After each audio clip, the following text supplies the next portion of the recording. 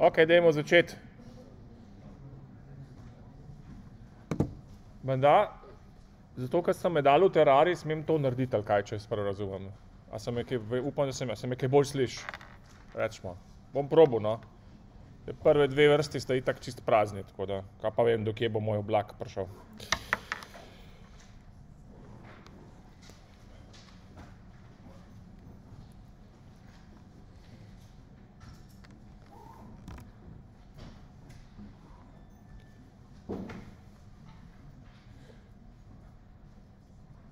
Vaje so se začele uspešno, še kdo na vaje deloval v živo po dveh letih ali kaj znam kdaj.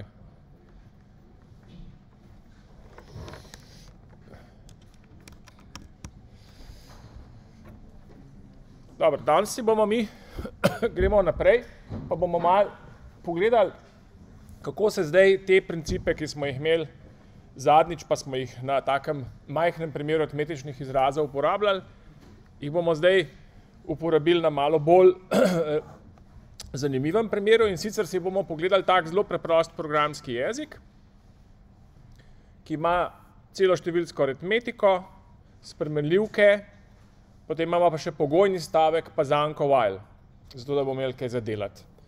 In sicer bomo šli po istem principu kot zadnjič. A se da to reči skrit? Ne, po moje ne.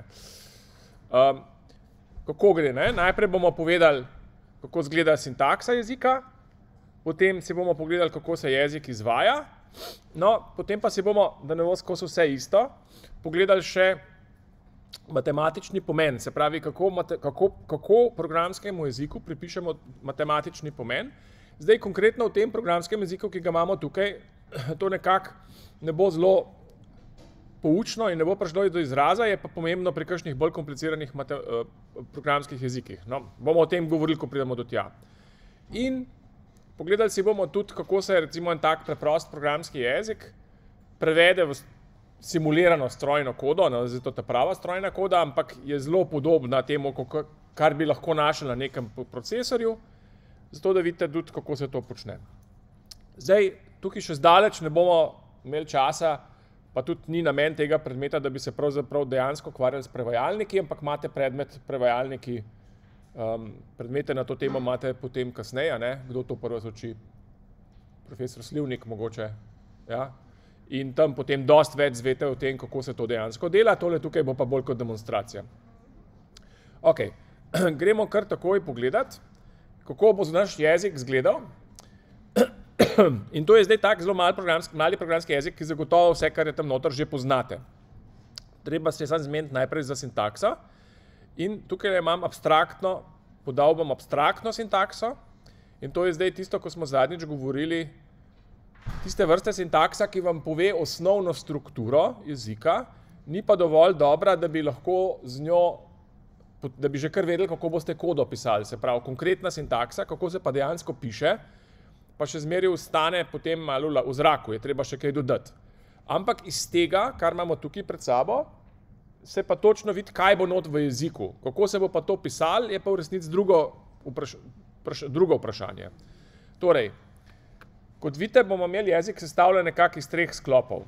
Imeli bomo aritmetične izraze, boolove izraze, to so taki, ke so true ali pa false, pa ukaze. No, pa gremo kar po vrsti. Aritmetični izrazi so taki kakor zadnjič, s tem, da sem jih napisal v tej poenostavljeni obliki, pa tukajle je ena navpična črta preveč, pa tukaj, tukajle je ena navpična črta preveč, to treba poradirati. Ne vem, če bi zdaj to počeli, lahko pa tudi. Tule je ena navpična črta preveč. Okej. Kaj so boolovi izrazi? To so pač boolovi izrazi, izrazi, ki zavzemajo vrednosti true pa false. Tako da imamo konstanti true pa false. Potem imamo pa takole, lahko dva aritmetična izraza, se pravi dve celi števili, primerjamo za enakost, lahko jih primerjamo za manjše, pa imamo pa še logični in, logični ali, ta je seveda med dvema boolovima izrazoma, ne, pa not, logični ne. Zdaj, kot vidite, tukaj zdaj manjka, tukaj zgoraj manjka odštevanje, tukaj zgoraj tukaj spodaj manjka večje pa manjše ali enako pa večje ali enako. to so vse stvari, ki jih seveda, če mislite narediti programski jezik, v katerem bo kdo tudi moral kodo pisati, jih želite noter dodati. Ampak dodajati zdaj tukaj večje, pa manjše ali enako, ne bo za samo razumevanje te lekcije absolutno nič prenesel, sam več vsega bo. Tako da tukaj imam nekako na minimumu vse te izraze, potem pa seveda lahko iz tega se naredi vaje. Aha, kako se pa zdaj neki not doda. Zdaj, če vam dam za vajo, kako se doda večje, bo to pravzaprav precej dolgočasno, ker boste vzeli manjše, pa boste sam vse prekopirali po kroku obrnili. Da se pa tudi, bomo videli pol kasneje, da se da tudi kakšne malo bolj inteligentne vaje, poprašanja narediti. Skratka, zaenkrat imamo spremenljivke, cela števila, samo plus pa krat imamo. Uh, tukaj nisem niti razložil, kaj je številka ne, z regularnim izrazom, to smo zadnjič videli, da se to da povedati, tudi za spremenljivko tudi nisem razlagal. Uh, no in potem imamo ukaze. Aha, še to, vidite, da spremenljivke nastopajo samo pri aritmetičnih izrazih. Se pravi, pri bulovih ne. ne bomo, to so spremenljivke, ki bodo imele noter zmeri spravljene cela števila. Zato, da so stvari čim bolj, čim bolj enostavne. Ne, mo, ne boste mogli niti trupa false spraviti v spremenljivko, samo celo število. No in potem imamo tukaj le ukaze. Zdaj, skip je ukaz, ki se mu reče v Pythonu pas. Se pravi, to je ukaz, ki ničesar ne naredi. Uh, v javi pač to pomeni, da tam nič ne napišete. Ne? Ker ni treba nič napisati, ampak ga imamo zato, da vidimo, da se ga da narediti. Potem imamo nastavljanje spremenljivke na neko vrednost aritmetičnega izraza. To bomo pisali z dvopiče je enako, se pravi, spremenljivka se nastavi na nekaj, zato da ločimo od tega le načaja tukaj. Mnogi programski jeziki imajo to v konkretni sintaksi malo drugače rešeno. Ne? Ko nastavite spremenljivko z navadnim enačajem, ki pa primerjate, morate pa pol tukaj dva enačaja uporabljati. To so samo v resnici take stvari, ki v resnici niso bistvene za samo teorijo programskih jezikov, pa za principe programskih jezikov, so se pa seveda programerji spravljeni steps glede tega, kako se piše, uh, a se piše dvopiče enako ali enako. Ne? Ok. No, potem imamo operacijo, ki nam omogoča, da naredimo več ukazov zapored. Se pravi, lahko imamo takole ukaz, podpiče ukaz. To pomeni, predstavljate si, da to bo pomenilo nared to, pa pa nared še to. Pa imamo zanko while. Zanko while napišemo tako, da napišemo pogoj, koliko časa ne, za izvajanje, pa pa do, pa ukaz, pa dan. In podobno imamo za bulove izraze, imamo pogojni stavek, if, bulo izraz, then, ukaz, else, ukaz, pa še enti od zadnji, zato da se ve, kje se konča. Uh, pa, uh, no, zdaj, to je abstraktna sintaksa, potem pa, če hočemo se približati malo bližje konkretni sintaksi, moramo še povedati, kakšne so prioritete operatorjev, pa so tukaj naštete. Ne? Od najniže do najviše, se pravi, podpičje je levo asociativen operator, or ima prednost pred podpičjem, pol je end, pol je not, pol je plus, pol takrat. Uh, pozabili smo pa, pozabili smo dodati enačaje, pa manjše, pa dajmo še tudi to napisati. Ne vem, zakaj jih ni. Uh, kam bi recimo vi ustavili enačaje, pa uh, manjše ali enako, kam bi ga dal? Dajmo se tako vprašati. Recimo, da mi nekdo napiše takle izraz.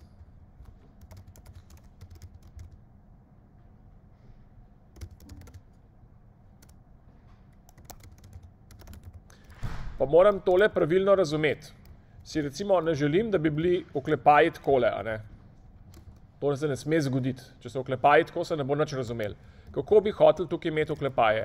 Hotel bi imeti 3 plus 5, tako, a ne, je manjše od 8, pa tole mora biti posebej, pa tole mi, tako pričakuje programer, a ne. Verjetno ne pričakuje neumnosti. Kaj bi bila še kakšna neumnost? Neumnost bi bila recimo, če bi takole, če bi se takole razumeli, ne. Zdaj, kaj, kaj mi, kaj mi pove, da ne morem tako razumeti? Nač, zato, ker nisem povedal, kaj je zmanjšalo enako. Ampak tukaj vidim, da mora imeti plus večjo prioriteto kot manjše, kar pomeni, da se mora manjše pojavljati nad plusom. No, zdaj pa, če ga dam sem, če bi ga dal sem, potem bi to pomenilo, da ima end prednost pred manjše, kar bi pomenilo, da ko vidim 3 je manjše od 5, end, 1 je manjše od 2, ker če bi imel end prednost pred manjše, pa bi moral zdaj to tako razumeti, pa bi bilo narobe. Se pravi, tukaj je previsoko. Ne? Mora imeti prednost tako. Najprej, ne? najprej pridete na vrsto plus pa krat, pol manjše, pol pa logični operatorji. Uh, pa tukaj, tukaj bi jaz dal zraven še enako, kar v isto prioriteto, nobenega razloga, zakaj bi imel drugačno. Pa se pa še vprašamo, a sta levo ali pa desno asociativna. Vprašanje je, kako se razume recimo to, 3 je manjše od 5 je manjše od 7. Ne? In odgovor je, da to je neveljavno. Ne? V naši sintaksi nikjer ne piše, da lahko to pišemo. A poznate kakšen programski jezik, ki to prav deluje? Tako napišete, 3 je manjše od 3, ki je manjše od 7, pa bo, kar del, pa bo kar naredil to, kar je mišljeno. Kako? Python to zna, ne? v Pythonu to gre.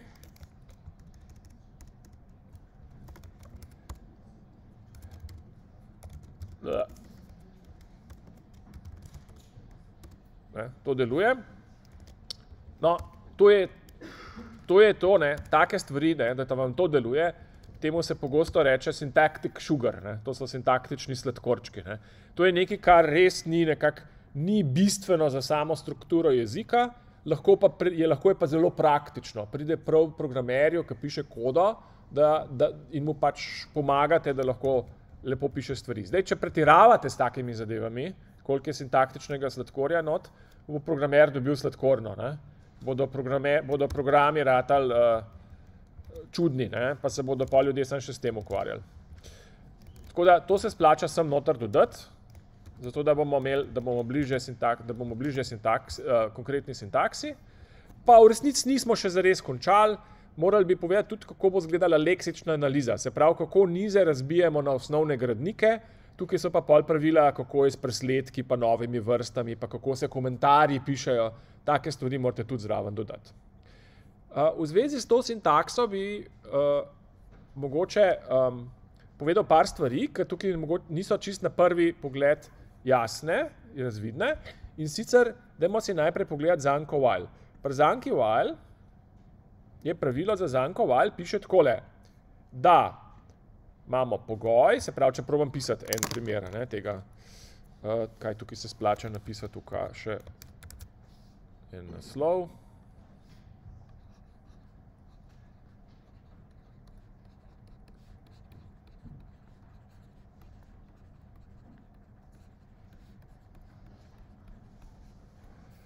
Pod sintakso bi mogoče to povedali, da uh, kako je bil un za while. Za while je pisal takole, while, pol pa daš nek pogoj tukaj noter, Se pravi, tukaj bo nek bulo izraz, pa je pa do, pa ukaz piše tam, da narediš en ukaz, pa dan. No in zdaj to tako zgleda, ne? Kot da lahko samo en ukaz not napišem. A vidite? Ne? Tako, če to preberete, bi mogoče kdo mislil, aha, tle je lahko samo en ukaz v zanki while. Tako da, to je pa mal čuden, ne? Zagotovo si želite, da imate zanko while, da imate, da imate lahko cel blok ukazov, ne pa samo enega. Ja? No, ampak to ni res, ne, da je tukaj samo en ukaz. Uh, zato, ker imamo tole reč. In tale nam dopušča, da ukaze lahko verižimo. Se pravi, jaz lahko, to, ta pravila je treba pravilno razumeti. Na tem mestu lahko stoji karkoli, kar je ukaz. Ampak kaj je pa ukaz? Ukaz je pa ena od teh stvari. Tako da jaz lahko sem noter, naprimer, utaknem skip, ali pa lahko sem noter utaknem if, ali pa drugo while zanko. No in med drugim lahko vtaknem noter tudi tole. Kar pomeni, da bi lahko tukaj imel ukaz, pa podpiče, pa ukaz. In zdaj, če želim imeti tri ukaze, lahko enega od teh nadomestim spet z ukaz. Ukaz, se pravi, jaz lahko tukaj napišem poljubno število ukazov in glede na tale slovnična pravila bo to v redu, ker se bo to tako razumelo, da je to ne, najprej to je ukaz. S pomočjo pravila za podpiče, to razumem, da je to en ukaz, pol je pa to spet vse skupaj ukaz. To samo opozarjam, zato ker lahko, ne, tako, ko pogledate na prvi pogled, ko, kako to, da je samo en ukaz tukaj. Še eno stvar bi povedal, uh, ker ste izjave, ste navajeni malo drugače delati. Um, to podpiče, to ni nekaj, kar napišete na koncu ukaza. To je nekaj, kar napišete med dva ukaza. Tako kot je ta slovnica zdaj tukaj napisana, je to veznik, ki ga daste med dva ukaza. Java ima drugačno narejeno. Javi, v Javi, ki pišete ukaze, je pravilo, da na koncu ukaza je podpiče. Razen v nekih primerih, ki se da nekaj spuščati, verjetno. Ampak praviloma je, da je na koncu ukaza podpiče. Tam je, se pravi, tam je v podpiče je ločilo, ki naznanjuje, da je zdaj konec ukaza. Mi pa podpiče tukaj malo drugače uporabljamo. Uporabljamo ga kot operator, ki veže dva ukaza skupaj, zato da naredi en bolj kompleksen ukaz. Logika tega je v javi, je, da, da namesto tega, da bi imeli tako, da vežemo skupaj ukaze, ima java bloke. Med zavite oklepaje jih pišete. Pišete zavite oklepaj, pa pa naredite seznam ukazov, pa vsak od teh ukazov mora se končati s podpičem, pa zaklepaj. To je samo drugačna, abstraktna sintaksa, uh, konkretna sintaksa. Je pa ista informacija. To, kako sem jaz skupaj povezal deset ukazov, ali sem to naštel seznam, pa ločil s podpiči, ali sem to naredil tako, da sem z nekimi podpiči vezal skupaj ukaze, na koncu je isti šmorn, dobili boste seznam desetih ukazov. Ja? In to je uh, nekaj, na kar bi vas pač rad navadil, da ni ta, uh, ne, kako zgleda sintaksa, Kar se tiče samih principov programskih jezikov, ni pomembno, kar se pa tiče praktične uporabe, pa seveda, da je pomembno.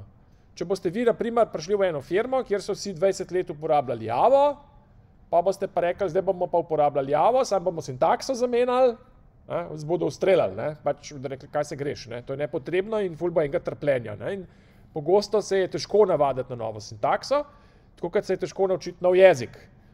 Tak, angliščino, francoščino, če se greš učiti francoščino, ker imaš 65 let, bo šlo bolj počasno. Tako da, um, zdaj, ker ste še mladi, je dobro, da vas tlele vsak teden na nov programski jezik navadimo, da boste potem nekako mogoče malo bolj fleksibilni. Uh, ok, toliko o, o teh podpičih. A sem tle hotel še kaj povedati? Mm, mislim, da ne. Poglejmo si pač zdaj en preprost primer, kako se piše kodo. Aha, seveda, ne, konkretno sintakso bi pol človek pričakoval, da se bo lepo zamikal.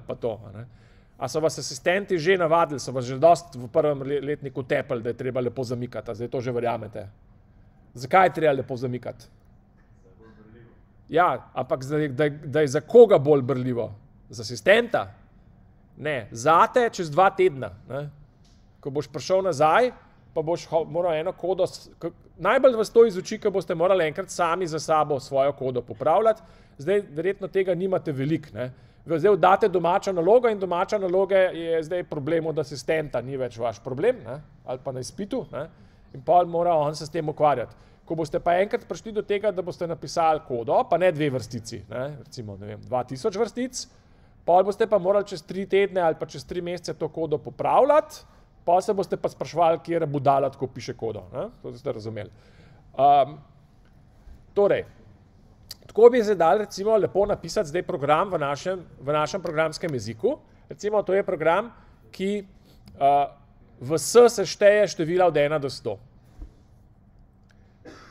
Nastavimo S, nastavimo S na nič, nastavimo I na nič, delamo dokler je I manjši od 101, S-ju prištejemo I, I povečamo za ena, konec. To se bo nekaj izračunalo ne? in bo v S-ju pač neka vrednost, pa v I-ju bo tudi ena vrednost.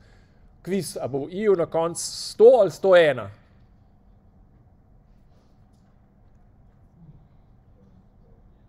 Končna vrednost I-ja je 100 ali 101? Tukaj, ko se bo, ko se bo ta program izvedel, jaz mislim, da bo I imel vrednost 100. 101. Zakaj bom imel i vrednost 101? Ja, zato, ker smo ven iz zanke prišli. Kako smo pa lahko prišli ven iz zanke? Tako da je bil ta pogoj tukaj neresničen. Ja, če je bil pa ta pogoj neresničen, pa je pa i ni bil manjši od 101, se pravi, bil večji ali enak 101. Zdaj pa treba sam premisliti, da ni bil 115, da je bil res 101. Ja? Okay. Zdaj ta isti program v javi bi izgledal tako. In kot vidite, je to crka isti šmoren. Ja? Sam da imamo tle du pa dan, tukaj imamo zavite oklepaje ne? in malo mal drugače se piše. Uh, ja, v zvezi s kontre, kon, konkretno sintakso si pol tle gor kliknite pa preberite, kaj je Wadlerjev zakon. Ne? Uh, to je nekaj v zvezi s sintakso, ne? da se ljudje namreč najrajš pogovarjajo o nebistvenih stvarih pri jeziku, recimo kako se komentarje piše. Kakšno vprašanje na tem mestu? Ja? ker je, aha, zakaj, dobro vprašanje, zakaj prijavi 100 pri uh, pr kom, pri tem programskem jeziku je pa 101. Zdaj lahko bi rekel, da to je samo zato, da jaz vidim, če vi sledite pouku. Ne? Lahko bi pa se zahvalil, ker si bug popravil. Uh, tak, tak, lahko še to kaj zbildamo, da ne bo baga. Evo. Hmm. Jekyll, ne. Jupiter, book. Build. Zdaj bo pa rekel rumble, rumble. Evo. Tako, bo bolj prav, ne? Ok, hvala. Dobro, gremo kar naprej. Gremo pogledati, kako bomo zdaj povedali operacijsko semantiko takega programskega jezika. Pa preden se spravimo na samo operacijsko semantiko, dajmo pogledati mogoče malo the big picture tle. In sicer, uh, uh, s kjero barvo, recimo, da je to, no.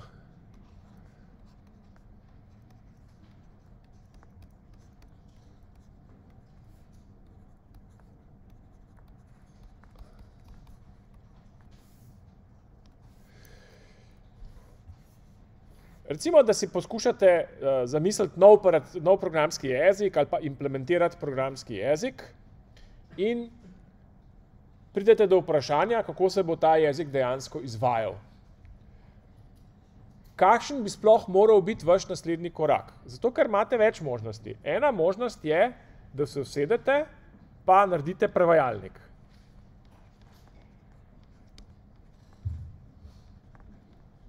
In Iz tega ta prevajalnik vam bo pač nek program, tle imate programski jezik, recimo temu našemu programskemu jeziku se reče, recimo se mu reče com za command line, tukaj imate recimo neko, nek assembler ali pa kaj takega, fancy assembler.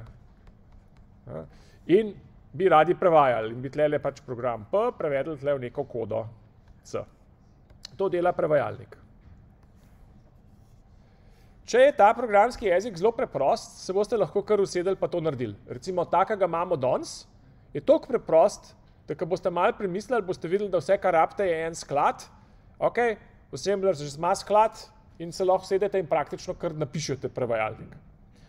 In pogosto je tako, da jezik pravzaprav, ne, tako, se pravi, ena ideja, ki jo imate, je naslednja. Ne. Aha, naredili bomo uradni prevajalnik in programski jezik, kaj programski jezik dela? Odgovor na to je, programski jezik dela to, kar, v kar ga prevajalnik prevede. Se pravi, mi bi lahko naredili uraden prevajalnik za naš programski jezik in potem bi napisali dokument, da definicija jezika, da je prevajalnik del definicije jezika in tako kot prevajalnik reče, tako je. Ja? To bi bila ena možnost. Recimo, uh, Haskell je v veliki meri tako narejen, Zato, ker imate Glasgow Haskell compiler, ki um, nekako šteje za uradnega ne, in je težko zvedeti kaj več o tem, kaj naj bi Haskell delal, kot pa to, kar so naredili dizajnerji od Glasgow Haskell compilerja. Se pravi, sicer je res, da seveda oni se potrudijo, pa potem tudi dokumentacijo, ki napišejo, ne, niso samo compilerja naredili, ne, ampak recimo to je primer jezika, ki je zelo nekako osredotočen na en prevajalnik. In veliko programskih jezikov je takih. Recimo, ne vem, no, kjer pa niso. Recimo C zagotovo ni tak programski jezik. Za C imate celo kupico raznih prevajalnikov, ki so jih različne firme naredile ne, in se držijo nekega standarda. Ne. Uh, potem lahko rečete, ok, to, da imamo, no, zdaj, kaj je težava s tem, da imate samo prevajalnik, pa nič drugega? Ja, če imate samo prevajalnik, pa nič drugega, potem po definiciji ta prevajalnik nima nobene napake vseb po definiciji zmeri pravilen. Ja, ker ste rekli, da tako je. Se pravi, če bo vaš prevajalnik uh, program, ki bi moral zračunati, tako vi napišete source code 2 plus 3, pa pa to prevajalnik predela v 6, ne, to ni bila napaka. Ne.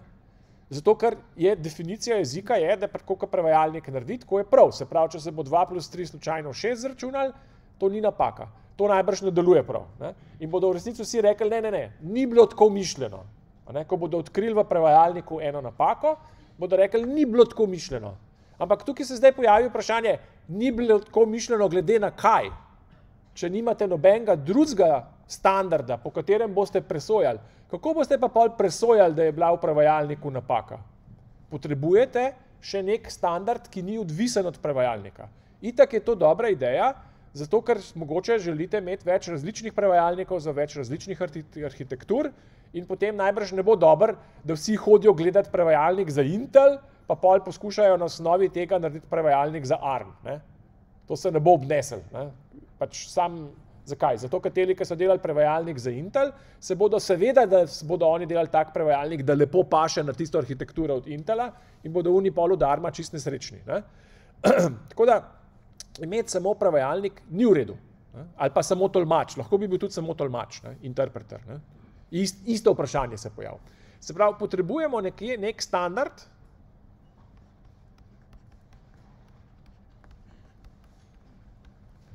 nek opis delovanja jezika,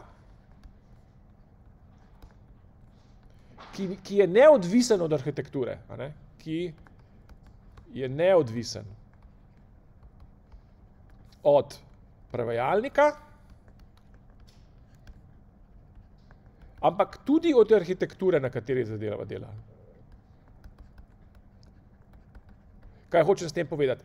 Sej lahko vi naredite programski jezik, za katerega vnaprej planirate, da ga boste izvajali na grafičnih karticah in upoštevate bistvene lasnosti grafičnih kartic in je vaš programski jezik prilagojen temu.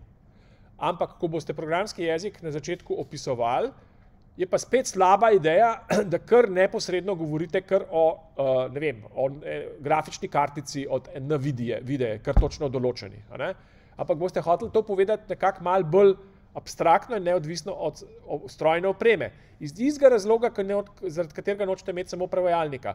Kaj pa, če strojna oprema narobe narejena? Če je grafični kartici noter bug, vi ste pa definirali programski jezik, da kot dela grafična kartica, tako je prav, potem imate spet isti problem, sam na drugem nivoju, zdaj ga imate pa na nivoju hardvera. Kako pa veste, da hardver narobe dela, če pa niste nikoli povedali, kaj naj bi bilo prav? Tako da je treba imeti te opise delovanja narejene na tak način, da so neodvisni od ostalih komponent, od prevajalnikov, od arhitekture. In je vprašanje, kako jih pa naredimo, da so neodvisni. Ja, lahko jih imate, podate jih lahko na različne načine. Lahko recimo napišete v angleščini zelo debel špeh, pa mu gor, gor date štempilko, da standard definition of C++ in pol to prodajate. Ne? Mislite, da se hecam, ne? pa se ne. ne? Torej, Um, lahko je to nek, to je nek dokument. Uh, ker smo že ravno tukaj, le, uh, sicer so v manjšini, ne, ampak ker smo že ravno, to je že ravno predmet iz IŠRM-ja, bomo seveda rekli to. Ja, verjetno je dobro, da bolj, ko je zadeva podana formalno, matematično, večje šanse imamo, da vemo, o čem govorimo. Dokler bomo pisali v angleščini besedila, ki opisujejo tehnične tehnične specifikacije programskih jezikov. To je približno tako, kot da bi Eiffel napisal v francoščini, kako se zgradi, francos, kako se zgradi Eiffelov stolp, ne? pa ne bi nikjer pokazal nobene tehnične dokumentacije, pa skice. To se ne dela. Treba je imeti zadevo na tem pravem nivoju. No, in eden nivo, nivo ki, ga tukaj, da, ki ga tukaj delamo, je, da poskušamo biti čim bolj matematični. Se pravi, ta naša ta naš opis, kako naj zadeva deluje, ki mi rečemo operacijska semantika.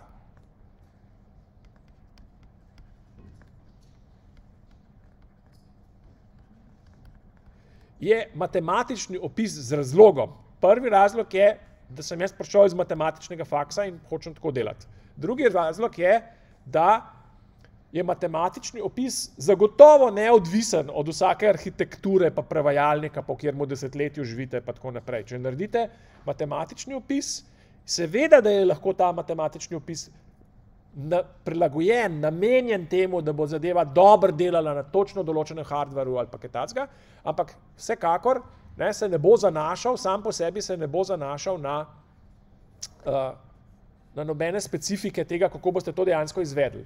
In kaj vam to koristi? Za operacijsko semantiko pa potem rečete, to je to, kar mi mislimo, da je res. Potem se pa lahko pogovarjamo o tem, ali prevajalnik deluje pravilno. To je tisto, kar je bistveno. Če jaz enkrat povem svoj opis, kako naj bi moj programski jezik deloval, in je ta opis nedvoumen, potem je smiselno vprašanje, ali prevajalnik dela prav. Dokler pa, tega, dokler pa takega opisa nimam, je pa vprašanje, ali prevajalnik dela prav, tako lahko da ni čist jasno, kaj sprašujem, ker nihče ne ve, kaj pomeni dela prav. Sej, ja, v resnici, v praksi, za večino primerov se bodo ljudje se bodo strinjali, da če not napišete 2 plus 3, pa ste ven dobili 6, se bodo vsi strinjali, da je to napaka, tudi če nimate operacijske semantike. Ampak programski jeziki so komplicirana zadeva, velik, velik, to so veliki konstrukti, kjer je težko v glavi držati celo definicijo programskega jezika. Recimo, probite to za javo narediti, vam ne bo uspelo. Ja? In zato je dobro, da je zadeva dol napisana natančno, zato da se gre lahko pogledati. Ali je lahko napaka tudi v operacijski semantiki? Seveda, vi lahko falite tudi svojo matematično definicijo, lahko jo naredite na robe. In so se znani primeri, ko je bilo narejeno na robe. Kako so pa ljudje vedeli, da je narejeno na robe? Tako, da so preverjali, ali njihova matematična definicija jezika ali zadošča določenim izrekom. Tisti, tisti izreki pa zagotavljajo, da ni nič narobe s operacijsko semantiko. Recimo, da vam povem primer takega izreka. Vi imate lahko, na primer, v programskem jeziku, poveste, kako se bo program izvajal. In želite, recimo, dokazati naslednji izrek, da ko se program izvaja, v vsakem koraku je bodi si smo dosegali končno vrednost, ali pa je možno narediti naslednji korak. To je predvsem, to je zelo butast izrek. V vsakem, v vsakem koraku je ali možen naslednji korak, ali pa smo dosegli končno vrednost. Kaj ta izrek pove? Ta izrek pove, da prvič, da ne bomo nikoli v situaciji, ko sta možna dva naslednja koraka ali pa trije.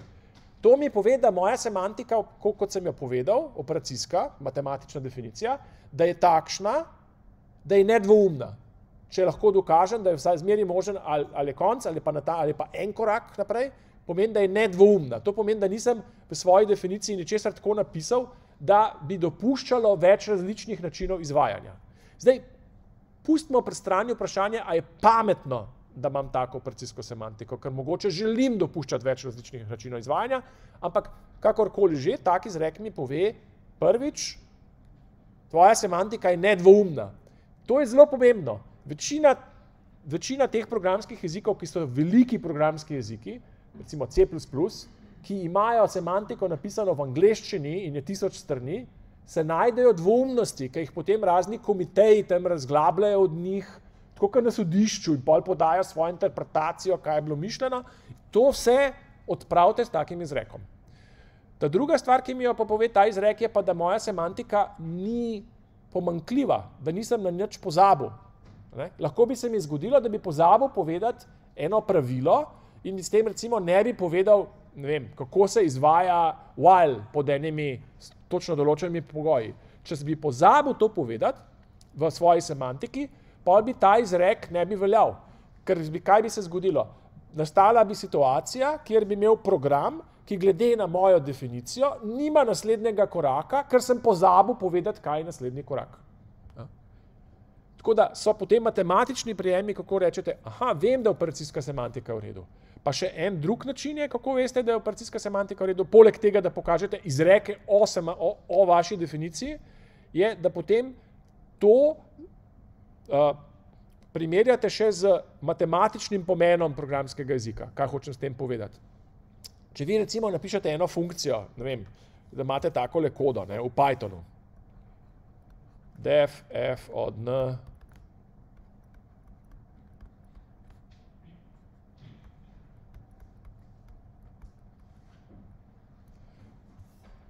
Zelo preprost program, spre, uh, funkcija, sprejme n, pa vrne n krat n plus 3. Zdaj, vsi si takoj potem predstavljamo, da je to funkcija. Uh, v Pythonu to mogoče ni čist jasno, ampak rečemo, da je to funkcija iz celih, celih števila. Ne, Python bo to čist srečen, tudi če mu daste float noter, ampak tako si peč naivno bi si predstavljali, da je to neka funkcija. Ampak ni funkcija, ne? zato ker to je matem, funkcija je matematični objekt, to je pa kos kode.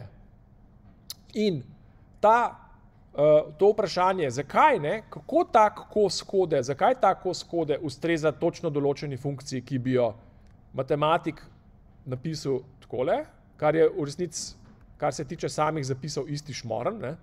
Kako pridemo do tega, da ta kos kode zares predstavlja to funkcijo? Ja, to je odvisno od tega, kako se programi izvajajo. In če znam jaz, če znam jaz napisati, če znam jaz prirediti še svoji operacijski semantiki, še matem, če znam programu prirediti še matematični pomen, potem pa lahko primerjam, ali se to, kako se program izvaja, sklada s tem, kako jaz mislim, da bi, kaj mislim, da ta program predstavlja. Jaz mislim, da ta program predstavlja neko funkcijo, torej pričakujem, da če zračunam vrednost te funkcije, koliko bo to, 52, pa pričakujem, da če bom ta program pognal in se bodo izvedeli vsi koraki v programu, da bo na koncu dobil vrednost 52.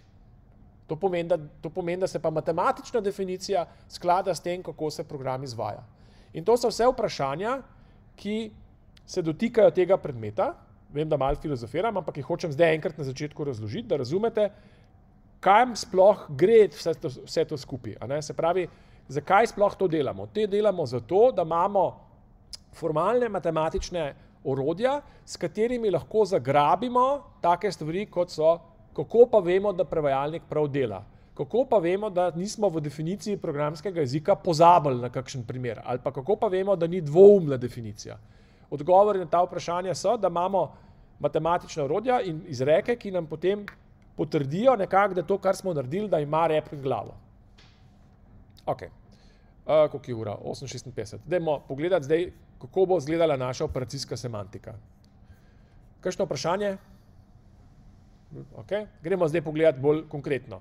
Se pravi, ideja je, da bi radi povedali, kako se izvajajo programi, taki programi. Kako se izvaja tak program. Pravila za izvajanje, hočemo povedati. Zelo enostavno. Ta pravila bomo povedali s pomočjo na, na podoben način kot zadnjič. Kaj smo pa zadnjič delali? Zadnjič smo imeli semantiko, če se spomnite, imeli smo semantiko malih korakov, pa velikih korakov, ko smo neka pravila pisali. No, zdaj bo zelo podobno. Ampak zadnjič smo imeli spremenljivke, ki smo jim lahko samo brali, če se spomnite, ko imate aritmetične izraze, zmer samo preberete vrednost spremenljivke. Ker vsa, edina stvar, ki jo lahko z aritmetičnim izrazom naredite, je, da zračunate njegovo vrednost in pri računanju vrednosti se spremenljivkam niso spreminjale vrednosti, smo jih samo brali. Zdaj jih bomo pa lahko tudi nastavljali. Kar pomeni, da bomo morali zdaj eno zadevo še dodati. Če se spomnite, zadnjič smo rekli, da program vedno teče v nekem okolju. Um, naši programi so zelo enostavni in imajo kot okolje enostavno samo to, koliko je vrednost kjer je spremenljivke. To je edina stvar, ki jo morate vedeti. Ne? Da rečete, aha, kako bo zdaj to. Se pravi, za vsako spremenljivko moram vedeti, kaj je njena vrednost. Temu smo rekli okolje, realistično okolje v pravem programskem jeziku, ta prav proces v operacijskem sistemu bi imel v svojem okolju še mnoge druge stvari, recimo, kjer je datoteke so odprte, bi operacijski sistem vod eh, evidenca tega, kakšni so file handli, um, kako ima pomnilnik alociran, uh, kupico enih zadev je še zraven. Ampak, če to zdaj ignoriramo, so spremenljivke, so to, kar nas zdaj zanima. In uh, temu smo rekli okolje. Ker se bodo vrednosti spremenljivk spremenjale, si bomo dodali zdaj še, en, še, še eno matematično operacijo, ki je prav temu namenjena, da se spremenljivki spremeni vrednost. In sicer bomo takole napisali okolje, pa bomo pa rekli popravi, da uh, x, x se slika v n. To pomeni, da v tem okolju spremenimo vrednost x na n. Se pravi, recimo, če imamo okolje, v katerem je x10 pa y5, če tole napišem, eta x gre v 20, potem bom dobil x je v 20, y je v 5. Kako se to izvede? To bi lahko naredili na velik načinov, matematično implementirali. Uh, jaz sem, pustimo zdaj na tem nivoju, da nekako razumemo, kaj pomeni, da če imam eno preslikavo, mimo grede, ne, to zgleda kot seznam. Ne, to je zgleda kot neke vrste seznam parov, kjer se x se slika v 4, y se slika v 10. V pripovedkovnih strukturah bi temu rekli, da je to slovar. Ne? Ste delali slovarje, upam. Ja? To je slovar. Ne? Matematično gledano je pa to uh, preslikava. To je preslikava, ki slika imena spremenljivk, stringe, ne? v vrednosti. In ta operacija je operacija, ki vzame eno tako preslikavo, pa vrne novo preslikavo.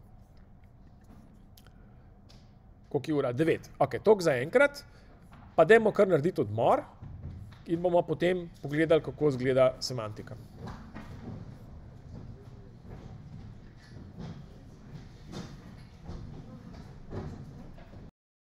Pogledati operacijsko semantiko. Torej, zaenkrat smo si dali samo v roke matematično operacijo, ki nam omogoča, da v okolju, da v okolju eni spremenljivki spremenimo vrednost, kar bomo potrebovali, zato ker imamo ukaze, ki spreminjajo vrednosti spremenljivk in se takole piše še enkrat. Ne? To pomeni, v okolju je eta x nastavimo na 20. To bi lahko definirali čist matematično kot preslikavo iz funkcij, v, iz, iz okolij v okolja. Dobro, zdaj pa pogledamo. Zdaj pa je takole, zdaj vas pa lahko tale abstraktna sintaksa vas vodi. Tukaj imate napisano osnovno sintaktično strukturo jezika in ko delate karkoli v zvezi z jezikom, recimo operacijska semantika ali pa prevajalnik ali pa kakšna stvar, boste vsakič rekli, aha, kako se pa vsako, vsako od teh komponent jezika obdela. Se pravi, če bomo govorili o, zdaj bomo govorili o operacijski semantiki, o pravilih za izvajanje, moramo povedati, se, kakšne so pravila za računanje, za izvajanje takih izrazov, kakšne so pravila za take izraze, pa kakšne so pravila za take, za ukaze. Zadnjič smo že delali aritmetične izraze in zdaj moramo dodati bulove pa ukaze. No, pa se dajmo spomniti, kako smo delali aritmetične izraze. Pri aritmetičnih izrazih smo takole rekli, da smo imeli takole relacijo, Ne, imeli smo tako, smo pisali eta, izraz, naravno število oziroma celo število, to je bilo okolje, to je bil izraz, to je pa vrednost. Ta je celo število. Ne, okolje je preslika, preslik, preslikava iz spremenljivk v njihove vrednosti, to je pa izraz. To smo zadnjič, ko smo govorili taka pravila. Pa smo pa povedali pravila za aritmetične izraze. Če gremo pogledati, čakajte se malo, da se bom en to prav rolal tlele. Tako. Evo. Kako je bilo, ne? Napisan, tako je bilo napisan. Če je, če imate kar eno šte, celo številsko konstanto, se pravi, zdaj morate to pravilno razumeti. Če je celo številska konstanta, potem se pač kar pripadajočo celo število dobimo kot pomen. Če je spremenljivka, potem kaj naredimo? V okolju eta pogledamo, kako vrednost ima spremenljivka x. Če se ta x v okolju eta preslika v neko vrednost n, je odgovor n. Potem pa podobno, recimo za plus smo imeli pa tako, ne? Smo imeli, zato da ugotoviš vrednost od e1 in e2, izračunaj najprej ugotovi vrednost od e1, dobiš nek n1, neko vrednost od E2, dobiš nek N2. In zdaj tukaj je mal drugače napisan kot zadnjič. Zadnjič je tle zraven pisal N je enako N1 plus pa 2, zdaj sem pa to, kar sem napisal. Še enkrat upozarjam, če je razlika med telim plusom pa med telim plusom. To pravilo, če bi ga v eni konkretni situaciji uporabili, v konkretni situaciji, če bi ga uporabili, recimo, bi, bi, bi, bi tako izgledali. Recimo, da poskušamo zračunati vrednost nekega izraza,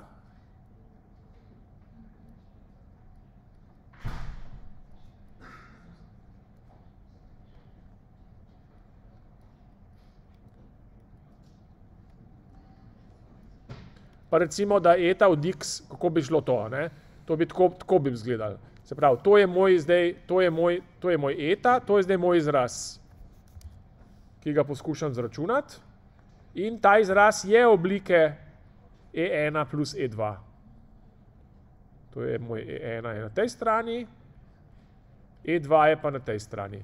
In zdaj pravi semantika, pet zračunati, kakšna je vrednost od tega e1. Seveda, to je e1 x, ne? In se gre to zračunati in se tle dobi neko vrednost. Ne vem, recimo, da je to 10. Okay. Pol tle dobite 10, ne? pol greste to računati.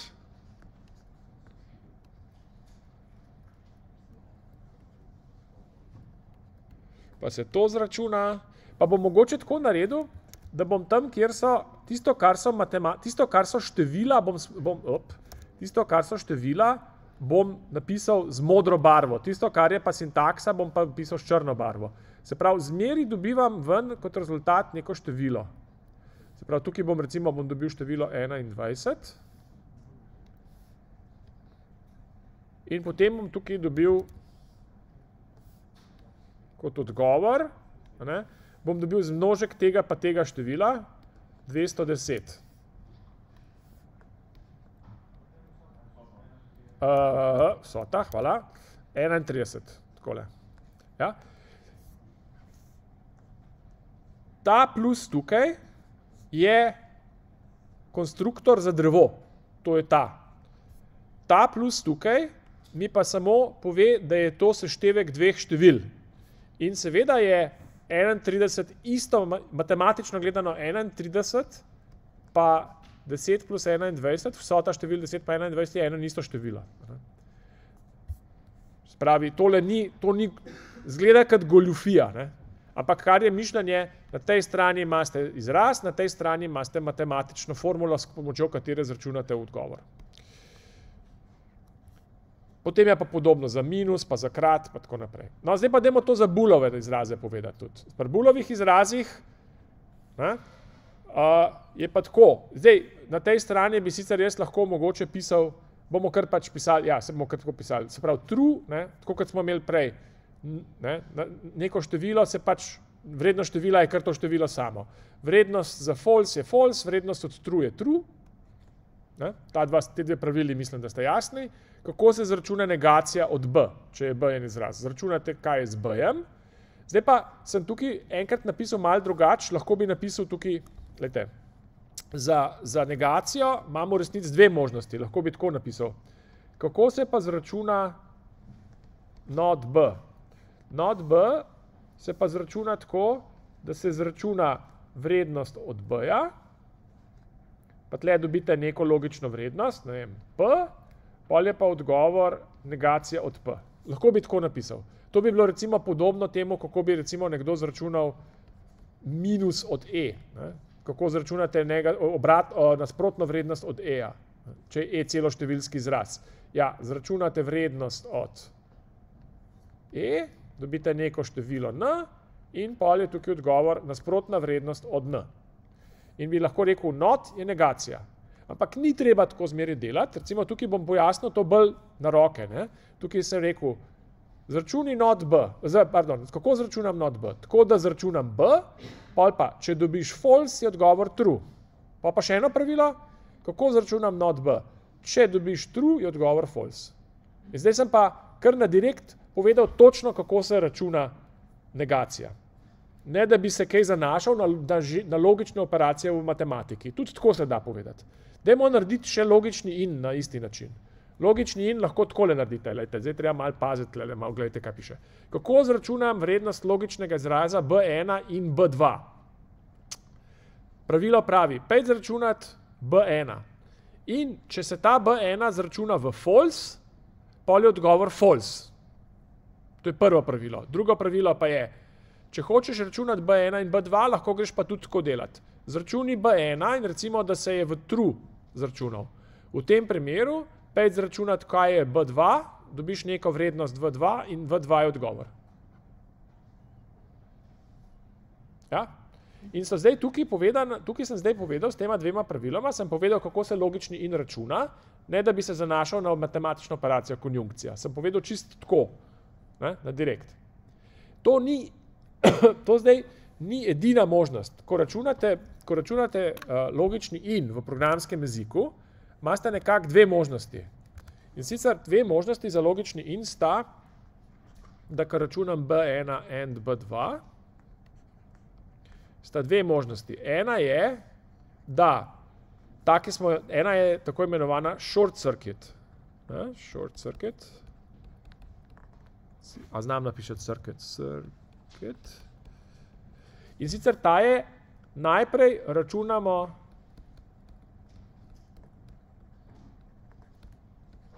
izračunaj B1, pol pa, če je ta false, je odgovor false.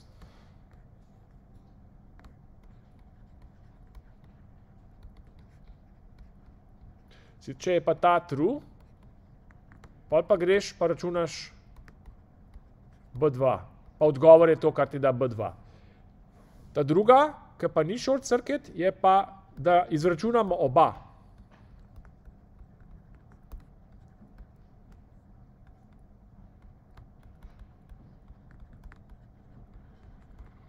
Se pravi, izračunamo oba, potem pa uporabi tabelo. Pa pa pogledate, kakšne vrednosti imate, se pravi, imate B1, B2.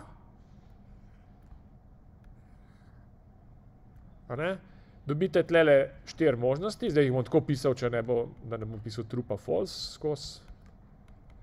Imate štiri vrednosti, štiri kombinacije imate in pogledate, katera od teh velja, se pravi, resničnostno tabelo uporabite, zato da zveste, kaj je vrednost. Če boste delali s tako resničnostno tabelo, ne, pa niste nič pazili, nič ne opaste, boste pač lahko oba zračunali. Kjera pravila smo tle, kjera so ta pravila? A so to pravila za unga, ki dela po bližnjici, short circuit, ali so to pravila za ta drugega, ki vse zmeri zračuna? To je short circuit, ne, se pravi, to so pravila, kjer računamo B1 in če dobimo za B1 false, se B2 ne gre računati. Poglejte, ni nobene šanse, da greste računati B2. B2 se bo računal lahko samo v tem pravilu. Ampak to pravilo omogoča računanje B2 samo v primeru, da se B1 izračuna v true. Se pravi, res tale, te dve pravili sta tako imenovani short circuit pravili, kjer se samo računa samo B1, B2 pa po potrebi. Kako bi pa napisali pravila za tacga, če bi hoteli imeti tako narejenega, tega? Kako bi izgledala pravila? Ja, pravila bi pol tako izgledala. To tabelco bi not zakodirali. Bi rekli, v okolju eta se B1 and B2 izračuna v. Pejt izračunati B1, pa dobiš rezultat, pa pejt izračunati B2, pa dobiš rezultat, pa bi pa to štirikrat nakopirali.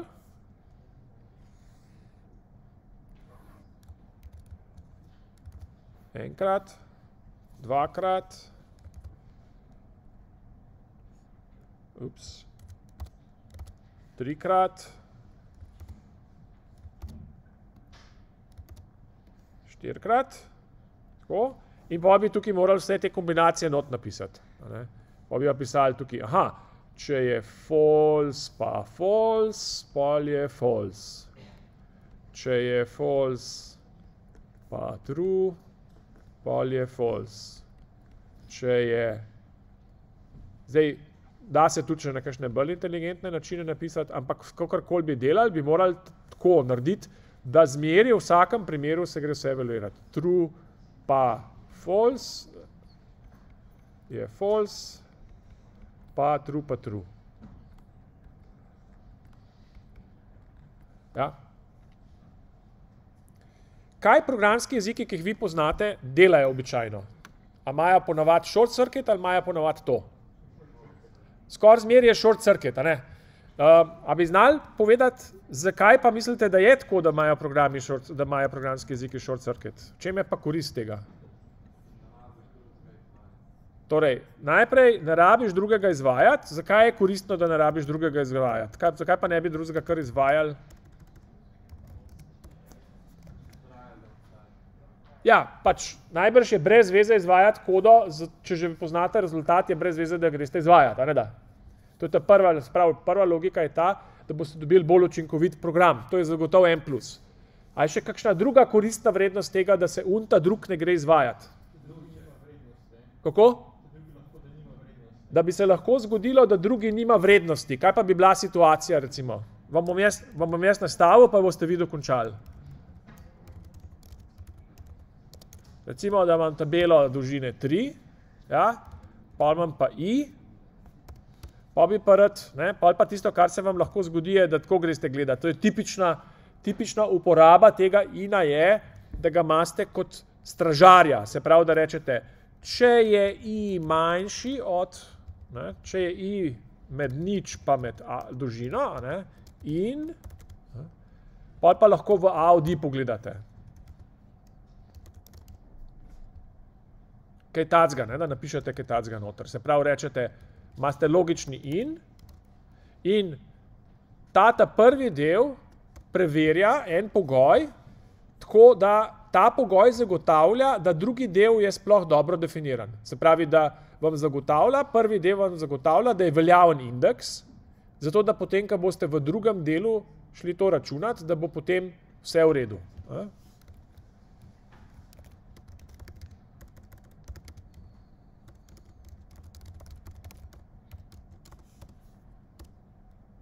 Ja, zdaj se je lepo zgodilo, I je, ne, poglejmo, kaj je. Ne, imam tabelo dolžine 3, I je neveljaven indeks, ampak tukaj, vse, tukaj, tukaj se ni nič čudnega zgodilo, ker je ta pogoj najprej preveril, če je I veljaven indeks.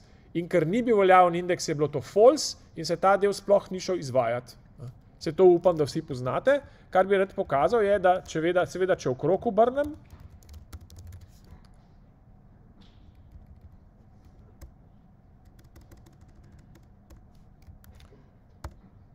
Zdaj pa bo crknil, ker je poskušal ugotoviti, koliko je output. Dobro, to je tudi recimo pogosta uporaba teh uh, uh, short circuit uh, veznikov, da se na ta način poskrbite, da ne pride do kakšnega, v pogoju ne pride do izvajanja neveljavnih izrazov. A pa so tudi kakšni minusi, a so same prednosti.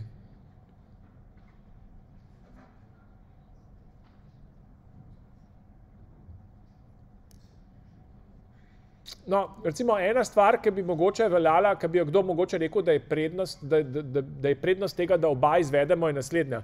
Kaj pa, če nekdo napiše en izraz, ki zgleda tako, f od x in g od x, pa tale f pa g, recimo nekaj delata, shrnjujeta nekaj na datoteke ali pa zapisujeta na zaslon, pa hočete, da se oboje zgodi. Se pravi, če imata pod izraza v logičnem in kakšne računske učinke, da še kaj dodatno delata.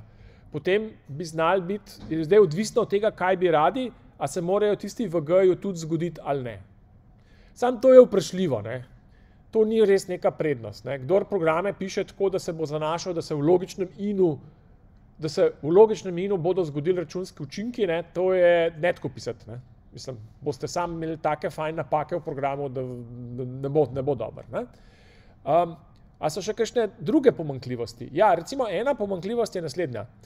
A, tako kot imam zdaj napisan na pravila in če bi imel v kombinaciji s tem, ne, kar smo tle gor videli, da se mi lahko zgodi, da če okrog obrnem in nastanejo težave, ja, zdaj tak logični in, kot je, tako, tako kot je logični in v Pythonu definiran, če bi zdaj jaz nekoga vprašal, a je v Pythonu res tole dvoje ekvivalentno? Če vas krtko, če gremo zdaj tam enega, zdaj je sicer sred ure, ampak če kar tam enega z, z višjega, če kar enega študenta zagrabimo, pa ga vprašamo, a je v Pythonu P in Q ekvivalentno Q in P, bo rekel ja. Zato, ker ne bo pomislil na to foro z indeksi, pa kako, kako se lahko zgodi, da če okrog obrnete, ni, ne dobite enakega odgovora ali pa program crkne, če okrog obrnete. Zakaj bo to nekdo rekel? Ja, zato, ker je pač navajen, da logični in je komutativna operacija, da se okrog obrnete. Recimo, da vas zdaj vprašam, a je seštevanje floating pointov asociativna operacija? E, zdaj boste razmišljali, zato ker veste, kaj sem vas glih kar vprašal. Ampak, ko boste pa programirali, Ne, čez tri mesece pa boste nekaj programirali, seveda ne, ja, seveda, to je pa ja, asociativna operacija. A, ne vem, pejte pogledati dokumentacijo, če je to asociativna operacija. Ne. Ali pa, recimo, a je primerjanje celih števil, a primerjanje floating pointov refleksivno. Če primerjam floating point sam s sabo, a dobim true? Ne, zakaj pa ne? Daj pa ne?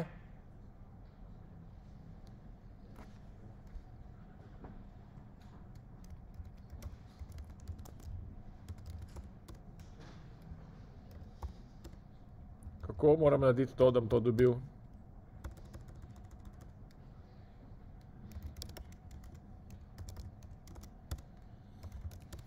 Evo. Eden izmed možnih floating pointov je nan. Kaj je nan? Hm? Nan je not a number ali je to un flat bread v indijski restauraciji. Oboje, ne, samo ne une z dvema najma. Ne. Torej, ja, to je not a number in to je ena izmed možnih, ena izmed možnih uh, vrednosti, je, ki jih lahko ven dobite.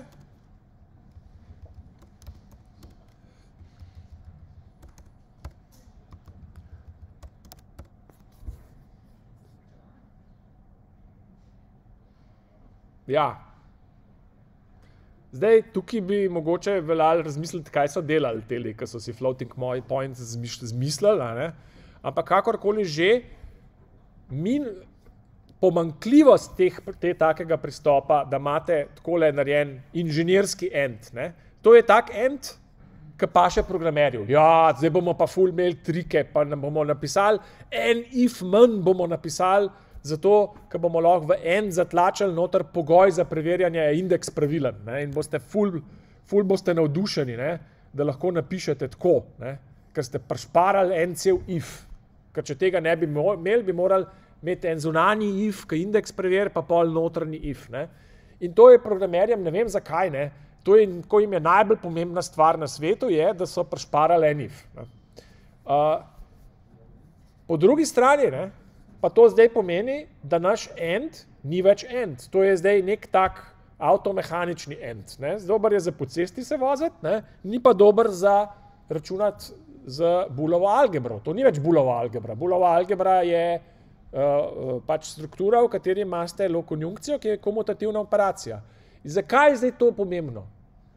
Zato, ker če end ni komutativna operacija, če ga ne smemo krok obračati, pol ga tudi prevajalnik ne sme okrog obračati. Kar pomeni, da prevajalnik ne more optimizirati kode kar tako.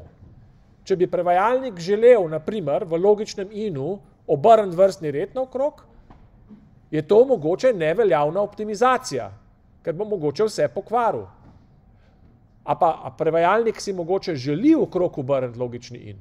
O, seveda, mogoče želi recimo zračuna, mogoče bo videl, da, bo za, da, da če bo okrog obrnil računanje logičnega in, da bodo zaradi tega feči v, me, v memori, v RAM, bodo potem dostopi do pomnilnika narejeni tako, da bodo bolj delali.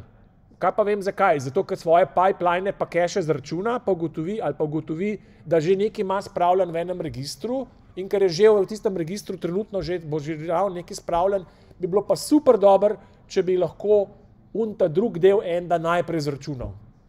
Tako da, to, kar ste na začetku rekli, da je dobro, da se en računa samo po, potrebo, po potrebi zaradi optimizacije, da bo hitrejša koda. To je res. Ampak kar je pa narobe, je pa, da mislite, da je to vaše delo. To ni vaše delo. Ni delo programerja, to je bilo leta 70 je bilo to delo programerja, zdaj pa ni več. Ni več vaše delo, da boste vi razmišljali, kako se optimalno zračuna konjunkcijo. Ja? To ni vaše delo. Sodobni prevajalniki znajo to bolj zračunati kot vi, imajo noter optimizatorje za logične, za, za logične izraze, pa še marsikaj drugega, pa še zračunali bodo, kakšni so optimalni loadi, pa write, pa ne vem kaj. In nimate nobene šanse, da boste naredili boljš kot pa prevajalnik. Bo, če boste doktorirali s prevajalnikom, pa boste naredili boljš kot prevajalnik, drugače pa ne. Tako da imate veljaven razlog, ampak napačno osebo s tem bremenite, sebe, ne sebe s tem bremenite. A poznate izraz premature optimization? Ja, kaj je to? To je to, kar se programer spravi optimizirati program, da bo njegova koda boljš pa hitrejš delala. Na, kaj pa na programeru? Ne? Na programeru bo pa skripto, ki jo bo pognal dvakrat v življenju in jo je zoptimiziral, je porabil eno uro, da je zoptimiziral, da, to, da ta skripta zdaj na mestu, da bi delala v desetih, uh, desetink, vem, desetih stotinkah bo delala v eni stotinki sekunde. Who cares? Ja? Optimizira se tam, kjer je treba optimizirati, ne pa kar tako malo vse poprek. No in tukaj vidite, ne, da niso stvari zmeri tako zelo jasne, da je zdaj pa dobro, da vi nekaj na roke optimizirate. Ne? Tako da jaz bi rekel, da pravzaprav ta glavna prednost tacga enda je to, kar imamo klepe pred sabo, da se da na precej eleganten način pisati stražarje. Se pravi, da pišete stražarje na ta način, da poveste pogoj, ki zagotavlja, da je preostanek izraza lahko varno zračunamo. Kot je bilo recimo indeksiranje v tabelo z nekim indeksom. Ampak, ko imate pa to misel, se morate pa vprašati, zakaj pa jaz uporabljam logični in za stražarje? Če hoče imeti kot programer, programerju morate zmer dati v roko orodje, ki najbolj na direkten način izraža to, kar bi programer rad. Če bi rad izrazil dejstvo, da potrebuje stražarja, mu naredite sintakso, ki direktno in točno pove, da gre za to. Ne pa, da sintaksa zgleda kot logični in, kadar bo programer mal zmatran, bo mislil, da je to logični in, pa bo kaj v krok obrnil, pa ne bi smel. Ne? To se tako ne dela. Kaj so recimo primeri tega, ko programer uporablja zadevo na en način, pa v resnici bi potreboval nekaj drugega. Recimo, stari, recimo če pišete v assemblerju, ne? ali pa v C-ju, evo, C-ju. Recimo, da hočete v C-ju narediti drevesa. Ne morete narediti dreves v C-ju, zato ker drevesa so induktivna podatkovna struktura in C nima induktivnih podatkovnih struktur. Kaj pa naredite? Ja, z, z kazalci naredite, ne? naredite drevesa, kjer imate structe lepe, pa pol so kazalci na levega, pa na desnega, in pol tako štrikate s kazalci, in če imate srečo, rata drevo. Sej se da to narediti. Sej mi bi tudi lahko si v šotorih živeli, pa bi preživeli. Poanta ni v tem, da se da narediti. Poanta je, kako omogočiti programerju, da dela neposredno. Ne? In tukaj vidimo recimo primer, ko lahko ena taka mehna stvar, ne, kako je zdaj s tem endom. Ne. Bolj, kar razmišljate, bolj vidite, da, da so različne možnosti in da je treba zmeri neke kompromise narediti in na koncu sprejeti eno pametno odločitev. Jaz bom zmeri zagovarjal uh, dve stališči. Prvič, da morajo biti vse, vsi koncepti morajo biti jasno definirani, ne, morajo imeti jasne matematične definicije, da sme biti neko mahanje z rokami, pa o, mi smo inženirji, že razumemo, Ne, ne, ne, ne, ne. In ta drugi je, da je treba delati tako, da se olajša delo programerju. Pogosto se bo programer temu upiral. Če bi zdaj recimo v javi spremenili, pa bi rekel, logični in v javi bomo pa od zdaj naprej bo tak, da bo, da bo, da bo prevajalnik lahko svobodno obračal vrstni red, pa boste za nazaj, boste fulene kode za nazaj pokvarili. Bolj tega ne morete narediti. Ne? Ampak kadar pa dizajnirate nov programski jezik, imate pa možnost zmeri izboljšati stvari. Dobro, to so zdaj bili komaj uh, bulovi izrazi. Uh, or je zdaj tukaj zelo podoben. Se pravi, če gremo pogledati, kako je or, tudi je short circuit. Ne? Najprej zračunamo B1 in če se B1 zračuna v true, pol ne gremo računati B2, ker vemo, da je true.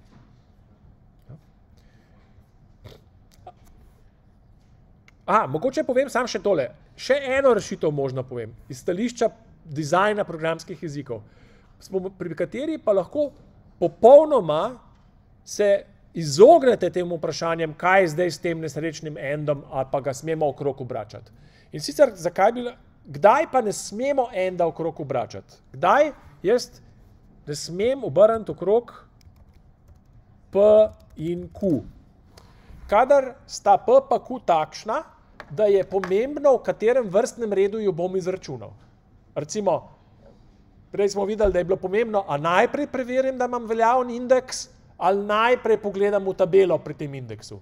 Najprej moram preveriti indeks, pol še lahko pogledam. Ali pa če, ima, če PPQ nekaj spisujete na zaslon, je pomemben vrstni red, kako se bo to v zaslonu spisal. Če PPQ nastavljata vrednosti spremenljivk, je pomembno, v kakšnem vrstnem redu spremenljivke nastavljata, ker če oba nastavljata isto spremenljivko, je vrstni red pomemben. Torej, tisto, kar je tukaj širše vprašanje, je, da smo ugotovili, da vrstnega reda ne moramo okrog obračati, zaradi stranskih učinkov, zaradi tega, ker PPQ poleg tega, da zračunata bulovo vrednost, naredita še nekaj drugega, mogoče. Po pomnilniku pišete, kaj pa vem, dostopate do pomnilnika na nek čuden način. Nekaj se še lahko zraven dogaja in to stvari zakomplicira. Ko, ja?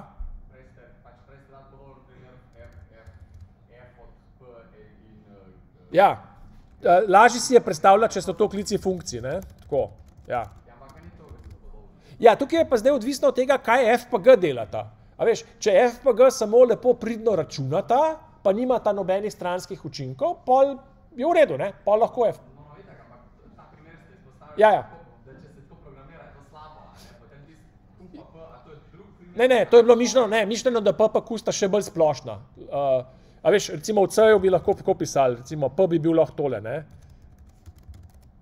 Recimo, da ti, a veš, recimo, da ti jaz v C-ju to napišem, ne? A si želiš razmišljati, kaj to pomeni? Ja?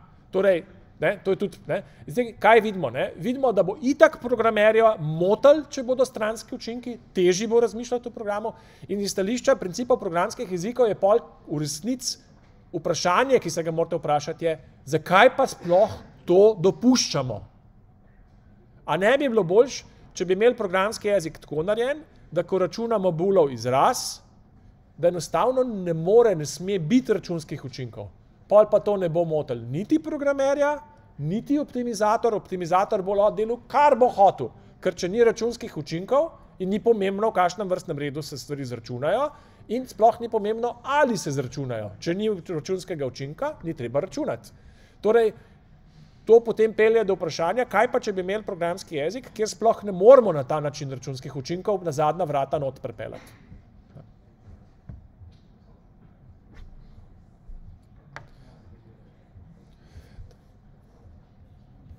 Ok, tukaj le imamo zdaj, poglejmo zdaj operacijsko semantiko ukazov, no, da še to spravimo skozi. Kako bomo pa zdaj to delali?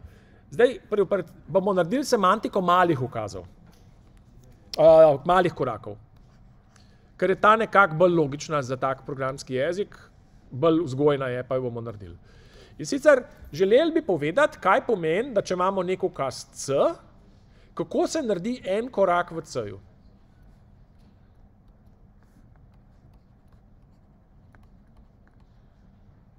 Kako se naredi en korak? To bi radi povedali.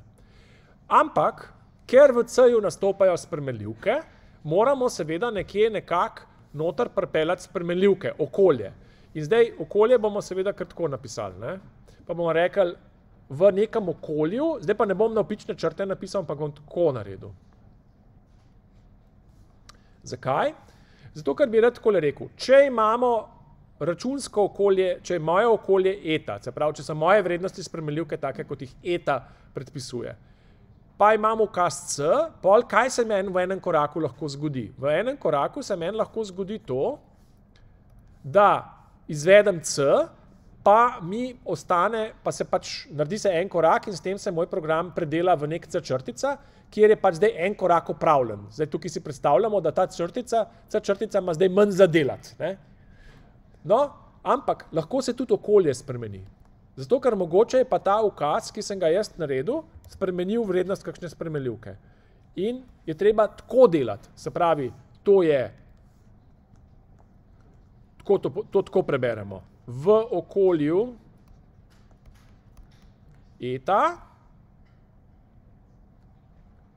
ukaz C, C je za koment, naredi en korak in novo, naslednje okolje.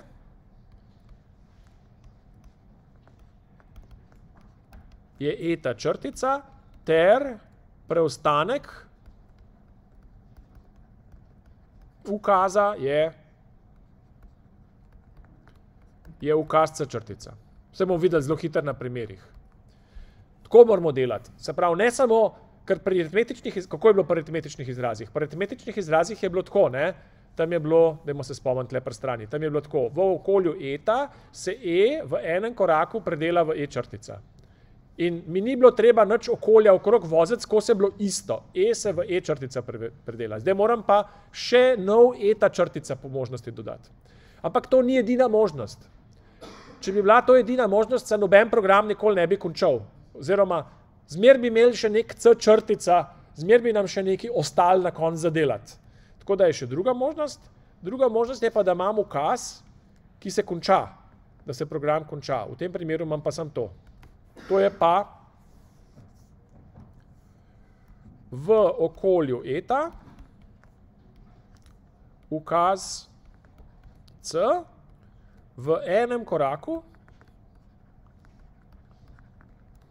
konča izvajanje.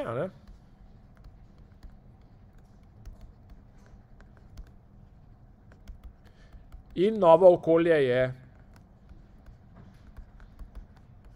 je eta črtica. Tako da moja semantika malih korakov ima dve relaciji. Ena je taka, ki nakazuje, da se program še ni končal in da je treba še naprej delati, ta druga pa, da se je moj program oziroma ukaz že končal in je konec in smo sam pristali v nekem okolju eta črtica. Gremo pogledati pravila, bo po mojem najbolj jasno, če kar pravila pogledamo. In sicer, tukaj so pravila. Ta prva možnost je, da imamo ukaz skip. Kako deluje skip? Zdaj bom jaz povedal matematično definicijo, pol kasneje bomo gledali prevajalnik, pa se bomo sprašvali, če prevajalnik ustreza tej matematični definiciji. Ampak kako deluje skip? Skip, skip v enem koraku konča. V katerem okolju pa? Ja, v tistem, ki ga je dobil. Skip je ukaz, ki ničesar ne dela, torej ne bo spreminjal okolja. Kaj pa, če je treba spremenljivko nastaviti na vrednost, na novo vrednost? Kako bomo pa to naredili? Zdaj pa, zato da bodo stvari malo bolj enostavne, bom uporabil aritmetične, bom za aritmetične izraze pokombiniral bom, tudi da boste videli, da se da kombinirati. Za aritmetične izraze bom uporabil semantiko velikih korakov od prejšnje ure in bom rekel, kako se nastavi spremenljivko x na vrednost e. Takole, v tvojem okolju eta, pej zračunati, koliko je e in dobiš neko vrednost n. Potem pa se to v enem koraku konča in sicer se konča v okolju, v katerem smo x nastavili na n. Se pravi, ta, kar se tiče naše semantike malih korakov, bomo šteli, da je bil to en korak. To ni čisto realistično v ta pravem programu, ker v ta pravem programu bi morali tudi tukaj zgoraj delati semantiko malih korakov, pa bi ta e postopoma računali, ampak pustimo zdaj to. Okay, kaj pa podpiče? Za podpiče sta, dva, sta dve možnosti. Tako se vprašajte, kako pa bomo izvajali C1 podpiče C2? Ja, mandat, tako da bomo C1 izvajali najprej, kako se izvede program naredi C1, pa pa še C2. Tako da pet izvajati C1. Kaj so pa možnosti? Ko bom šel izvajati C1, se mi lahko zgodita dve zadevi. C1 se bo končal ali se pa ne bo končal. No in zdaj imamo tukaj dve možnosti. Če C1, če se C1 še ne konča, kar pomeni, da C1 reče, ja, mal en korak bomo naredili, pa bomo dobili neko, neko novo okolje eta črtica, pa pol je treba še naprej, še zmeraj je treba računati C1 in sicer tle je C1 črtica, je tisti, kjer je treba računati. Potem je ta celota, celoten ukaz, pa tako zgleda. Aha, to pomeni, da bomo v enem koraku C1 predelali v C1 črtica. C2 pa zdaj zaenkrat še čaka. Ta druga možnost je pa, da se C1 takoj konča. To pa tako naredimo. Če se C1 takoj konča v nekem okolju eta črtica, potem to pomeni, da smo v enem koraku C1 podpiče C2 predelali v C2. Samo okolje se mi je zamenjalo. Pozor, Tukaj bi kdo predlagal lahko naslednjo, pravilo.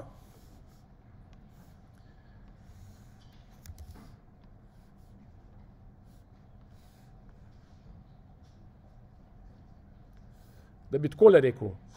V okolju eta gremo izvajati C1, C2, pa recimo, da se je eta C1 končal in nam je predelal okolje eta črtica. Pa, pa bi tukaj napisali takole. In pol gremo v okolju e črta, eta črtica, C2 izvajati in bomo tle dobili eta dve črtici pa C2. Potem je odgovor eta, črt, eta dve črtici pa C2, tle bo C2 črtica, C2 črtica. Ja? To ni semantika, to je zdaj čuden, to sta dva koraka.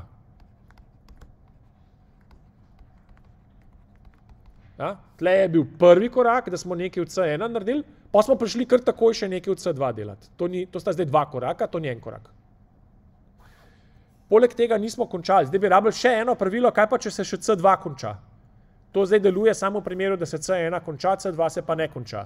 Zdaj bi rabili pa še kaj, če se oba končata, pa imeli eno pravilo več. Ja, in to bi bil tipičen primer, ko smo semantiki nekaj pozabili, če bi tisto pravilo pozabili napisati. Tako da tole je čisto v redu, pa ne smemo poskušati zdaj še v C2 nekaj izvajati naprej. Smo že naredili en korak, v C1. No, in zaradi podobnih razlogov, pol if then else tudi tako deluje, da ne greste kar računati dena. Se pravi, kako se zračuna if then else? Kaj naredite? Najprej greste izračunati pogoj B. In zdaj, če se ta B zračuna v true, pol je, rečete, aha, kaj bomo pa delali v naslednjem koraku? V naslednjem koraku bomo šli pa računati C1, to je tale od dena. Ne, Če se je pa v false evaluiral pogoj, pol je pa naslednji korak C2.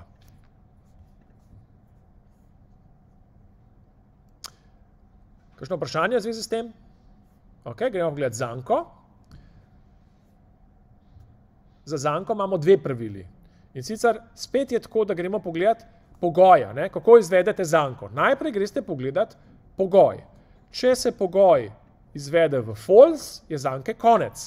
Kar pomeni, ker jo je konec, ni več naprej nobenega izvajanja, je to ta primer, ki sam rečemo, naše okolje je eta, konec.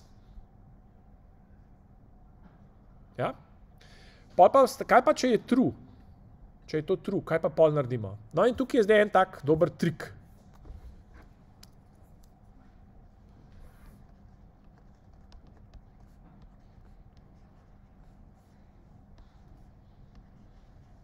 Kako bi nekomu pojasnili, kaj se mora zgoditi, če se to evaluira v true?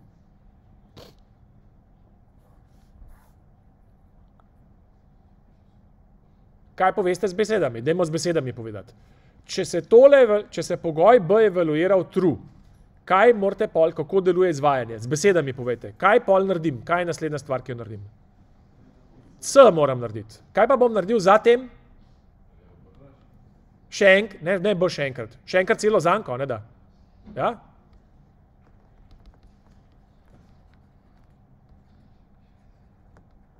Se pravi, če se B, če se B evaluira v true, to je, v tukaj sem pridem v primeru, da je B true. Potem lahko to naredim. Rečem, aha, še enkrat naredili bomo cel C, pa zatem bomo zanko še enkrat naredili. In to je to. Poglejmo. Kako izvedemo zanko while, če se mi je pogoj izvedel v true?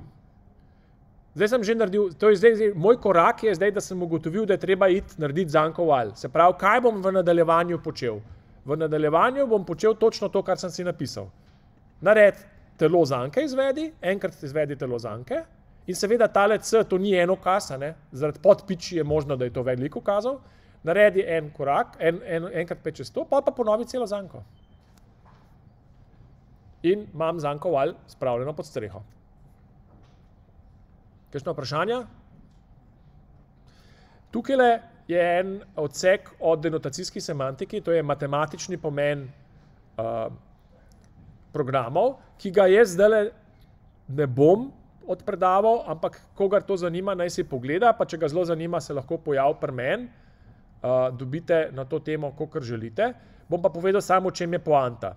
Poanta je v tem, da je smiselno se tudi vprašati, poleg tega, kako izvajamo programe, se je smiselno, kot sem že prej omenjal, je smiselno tudi se vprašati, kaj je matematični pomen programov. Zato, ker potem vam to daje en cel kup enih možnih orodij, kaj boste s tem delali. No in tradicionalno, to se imenuje denotacijska semantika. Denote ne, je označevanje kaj program označuje, kateri matematični objekt označuje nek dani program. Je vprašanje, zato se imenuje denotacijska. Ja? In uh, tukaj je mal nekaj malga na to temo napisanega. Um, pri teoriji programskih jezikov na drugi stopni še ramajovci boste o tem več zvedeli, uh, kako se s tem dela in kaj, kaj treba tam početi. Tako da jaz sem to zaenkrat, mi se zdaj s tem ta trenutek ne bomo ukvarjali, lahko si pa preberete, pa pač je napisan. Pa pol ta najbolj zanimiv del pa ni napisan, namreč to je pa kaj za Anko Weil, ker tukaj se pa stvari zakomplicirajo in zato boste šli pa na TPJ. Koliko je ura? Deset. Ok, poglejmo se, kaj bomo sam še naredili ta zadnjo uro. Ta zadnjo uro se bomo malo pogovarjali o tem, kaj pomeni, da sta dva programa ekvivalentna, pol si bomo pa pogledali še uh, prevajalnik, da boste videli, kaj pa je zdaj treba narediti, če hočete um, če hočete te take programe dejansko izvajati, pa kako se jih pretvori v nek tak baby assembler. Ok, odmor, 15 minut.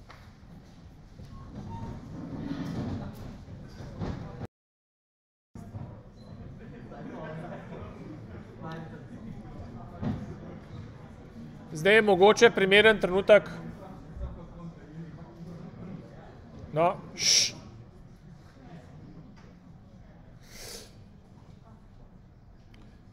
Zdaj, po mojem, primeren trenutek tudi, da se pogovarjamo o enem pomembnem pojmu in to je ekvivalenca programov. In sicer to je nekaj, kar programer zagotovo obvlada na nekem uh, operativnem nivoju, gre enostavno za to, kdaj lahko eno kodo zamenjate z drugo kodo, varno, da veste, da ne bo nič narobe. Um, namreč, um, če uh, pišete en kos kode ne, in potem nekdo reče, da to pa lahko zamenjaš z eno boljšo kodo, ne, morate nekako vedeti, da je to dovoljeno, ne morete kar eno tretjo kodo kar neki noter dati. Se pravi, pomembno je vprašanje, kdaj je varno zamenjati eno kodo z drugo. In odgovor je pač takrat, kadar ste ekvivalentni, karkoli že to pomeni. Ampak kaj pa pomeni, da sta dva kosa kode ekvivalentna? Aha, mimo grede, niso samo programerji, ki želijo en kos kode z drugo kodo zamenjati, ker je boljša, ampak tudi prevajalnik. Kaj pravzaprav dela prevajalnik, ki optimizira kodo? Ja, zamenja eno vrsto kode z drugo, ker iz nekega razloga meni, da je tista druga koda bolj primerna. Mogoče ima boljšo, uh, mogoče se bo hitreje izvedla, mogoče bo manjkrat dostopala do pomnilnika, kaj pa vem kaj. Ampak osnovno vprašanje je, ali je to dovoljeno, kako vemo, da je to dovoljeno narediti. No in uh, obstaja več možnosti, kako definirate, kaj pomeni, da sta dva kosa kode ekvivalentna, ampak ta, recimo, ki je zelo tak splošen, je naslednji. Predstavljite si, da imam, se pravi, to je pa še zdaj pod ekvivalenca programov. Predstavljite si, da imam en program, to je nek program C. In tle noter v C-ju je nekje en košček kode.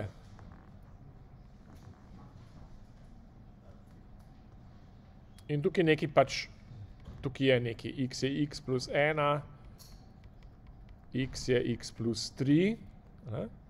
In zdaj nas zanima, ali bi lahko zamenjali ta košček kode z eno drugo kodo.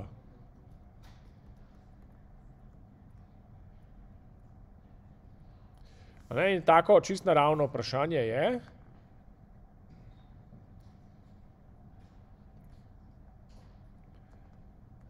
ali lahko zamenjamo. Recimo, da je to košček kode A, to je pa košček kode B.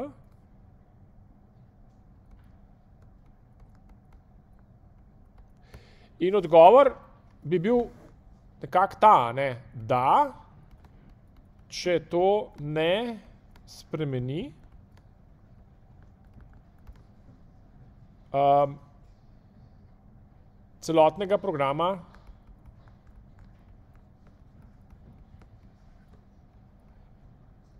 C. Ampak zdaj to ni tako čisto enostavno. Kaj pomeni, da ne spremeni, oziroma da ne spremeni obnašanja, ne?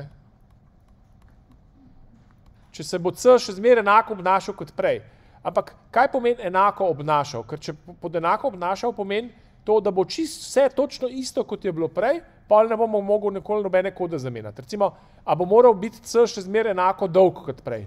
A se, bo, a se sme recimo C hitreje izvajati kot prej?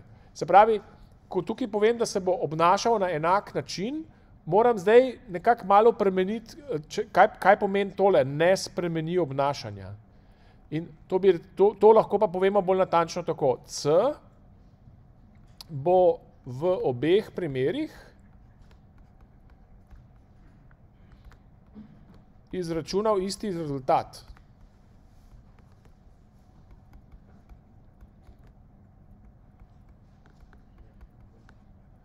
Ali pa, ali pa v obeh primerih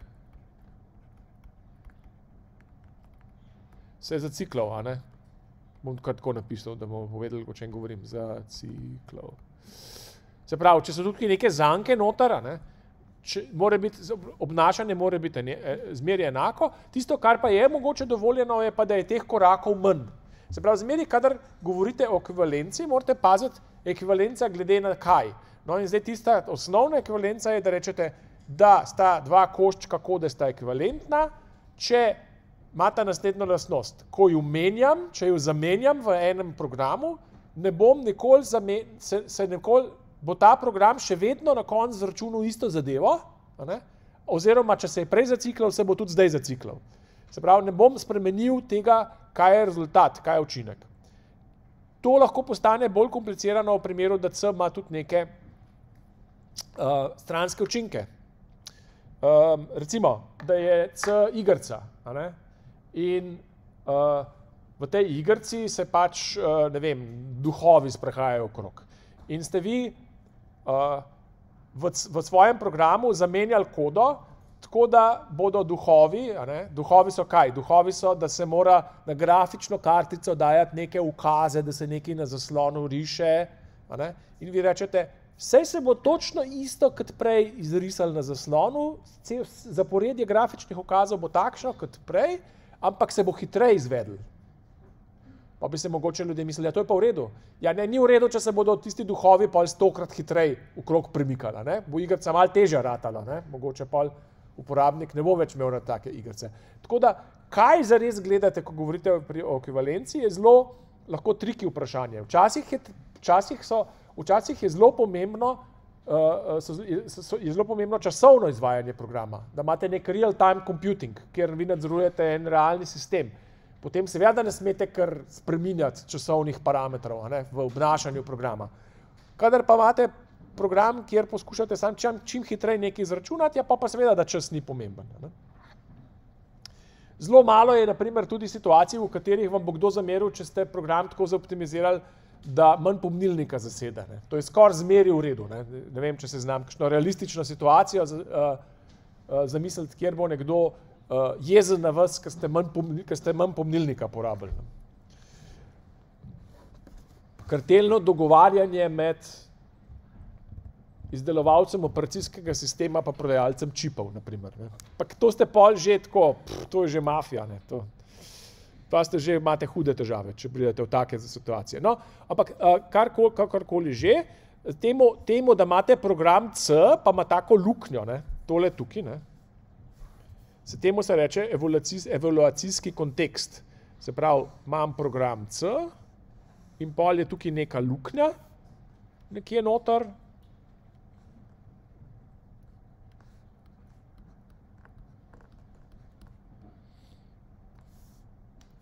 C je program z luknjo in pol se pol v tako luknjo noter ustavljate koščke kode, da, veste, da vidite, kaj se bo dogajalo. Temu se reče tudi evalu, evalu, je evalvacijski kontekst. Jaz se nikoli ne znam evalvacijski mogoče. Kontekst. Zakaj zdaj, odkot pridejo te besede? Evalvacijski, ker opazujemo, kako se bo evalviral, kako se bo izvedel, v kaj se bo izvedel nek program. Kontekst je pa zato, ker je to, to kar je zunaj luknje, je kontekst, v katerem se bo naš program znotraj luknje izvajal. Kontekst je zmer tisto, kar vi veste, kar je na voljo, oziroma tisto, znotraj česar delujete. Recimo, v sred matematičnega dokaza imate kontekst, spremenljivke, ki ste jih uvedli, pa hipoteze, ki so vam na voljo. Na sred programa imate kontekst, trenutno veljavne lokalne spremenljivke, tisto, kar vam je na voljo. No, temu se reče evalvacijski kontekst in se ga pač potem takole napiše, kje smo bili, aha, tle, takole C, ne, C z luknjo si predstavljate. In pravimo, da sta programa ekvivalentna, če kakor, kamorkoli, v kakršen koli evaluacijski kontekst jih damo, se pravi za vsak C, se mora C od A pa C od B enako obnašati. Pa rečemo, da sta A pa B uh, ekvivalentna. Kaj pomeni pa obnašati, je pa, kot smo že povedali, odvisno ne, od tega, kaj opazujete. Recimo, da imamo pogledati ta primer. A bi rekli, da sta ta dva programa ekvivalentna? ta dva koščka kode. Da je enkrat tako, da imam dva ukaza, enega za drugim. x je x plus 1, pa pol x je x plus 2, pa x, je x, x postane x plus 3. Zdaj, tako, ne, zdi se, da ja, ne. In v našem ukaznem programskem jeziku res ne morete nobene razlike opaziti med tema dvema zaporedjama ukazov. Ne. Kar se tiče tega, do kakšnega rezultata boste prišli, pa kako, kakšno končno okolje boste ven dobili, seveda ne boste opazili razlike. Če bi lahko opazovali posamezne ukaze v izvajanju, kako se dejansko stvari izvajajo, pol bi seveda videli, da eden od teh več korakov naredi kot drug. Ampak kar se pa tiče končnega učinka, je pa vse, sta pa ekvivalentna. A bi, si lahko zamislili kakšno situacijo v kakšnem drugem programskem jeziku, kjer taka dva, taka dva, ta dva kosa kode ne bi bila ekvivalentna. Pomislite na paralelno izvajanje. Če bi imeli lahko program, če bi imeli programski jezik, kjer se lahko več niti programa naenkrat izvaja, pa je to ena od niti.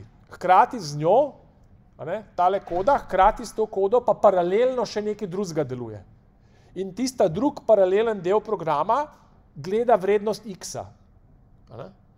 Bi se lahko zgodilo, da bo v enem primeru opazil, da se x za ena povečal, v drugem pa ne bo, ker bi se ground tako prepletel med te ukaze, ne? in ker bo v tem drugem primeru vrednost x kar naenkrat poskočila za 3.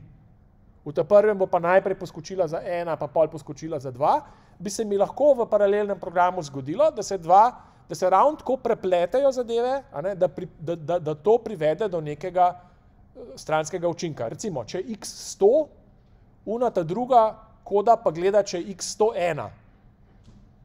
In se tako zgodi, ne? najprej se x poveča za 1 na 100, pol luna ta druga paralelna koda pogleda, če je x 101 in vidi, da je 101 in nekaj naredi. To bi se zgodilo v prvem primeru. V drugem primeru se pa to ne bo zgodilo, ker bo x skočil iz 100 na 103. Una koda nikoli ne bo videla, da je x 101. Tako da tak, v takem primeru pa programa ne bi bila ekvivalentna. Tako da vidite, to, a sta programa ekvivalentna, je zelo odvisno od programskega jezika in od tega, kaj vse se še lahko zraven dogaja.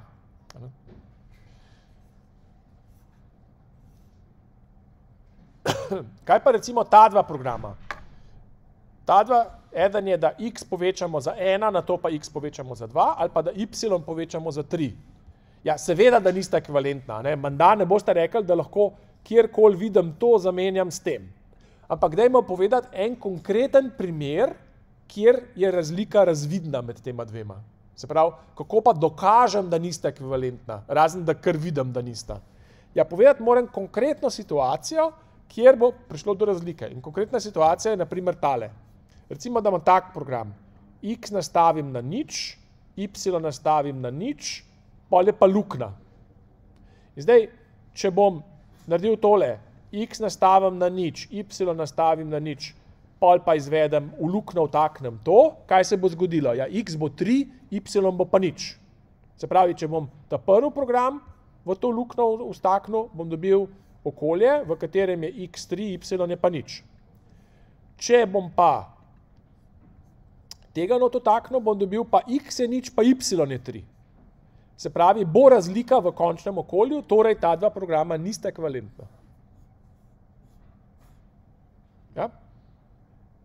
Se pravi, če hočete pokazati, da nista ekvivalentna, morate eno konkretno situacijo podati, iz katere je razvidno, da se različno obnašata. Kaj pa tole, recimo? Tle, ker smo imeli program za seštevanje prvih 100 števil. Ja, koliko pa je vsota prvih 100 števil?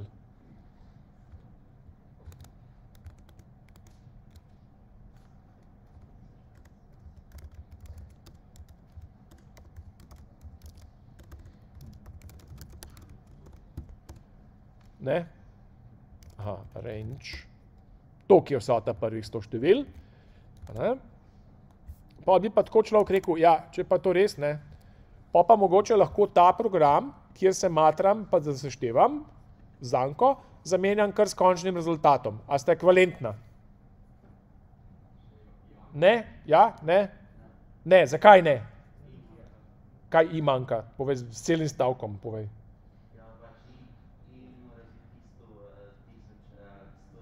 Tako, ja, pozabili smo na dejstvo, ne, da, da se tudi i spreminja, zato bi morali tudi za i poskrbeti, da bo imel enako vrednost. Torej, uh, kakšen program bi pa lahko predlagali, da bi bilo ekvivalentno, kaj bi morali še dodati zraven? Še i se nastavi na 101, se pravi, to oboje skupaj bi pa bilo ekvivalentno. Ali recimo en spodoben prevajalnik zna tako optimizacijo narediti? Zna. Ja. Um, take optimizacije, recimo vem, LLVM, po moje, že to tudi kar naredi. Pa tudi vsak spodoben bo. Take vrste optimizacije pogosto se, se dogajajo v programski. Se dogajajo, je pa res, da je priložnosti za take optimizacije ni toliko velik, ne? ampak pa na koncu konca se nabere. Če, če, Noben ne bo tako. Sem, lejte, ne, ta program ne, boste napisali samo v šoli, pa nekjer drugje. Ne. Tega programa ne boste nikoli videli v real life, ne, ker to, tega ne rabite napisati. Ne. Ok, toliko ekvivalenci. Aha, mogoče še to, ne, uh, v zvezi z ekvivalenco. Pol se pa pojavi še naslednje vprašanje. Da imate v programskem jeziku neko, programski jezik lahko ima uh, recimo eno zadevo, kot je naprimer vem, zanka for, pa se sprašujete, a se da to zanko for iz še na kak drug način dobiti. Naprimer, Java ima while in for, a potrebujemo oba.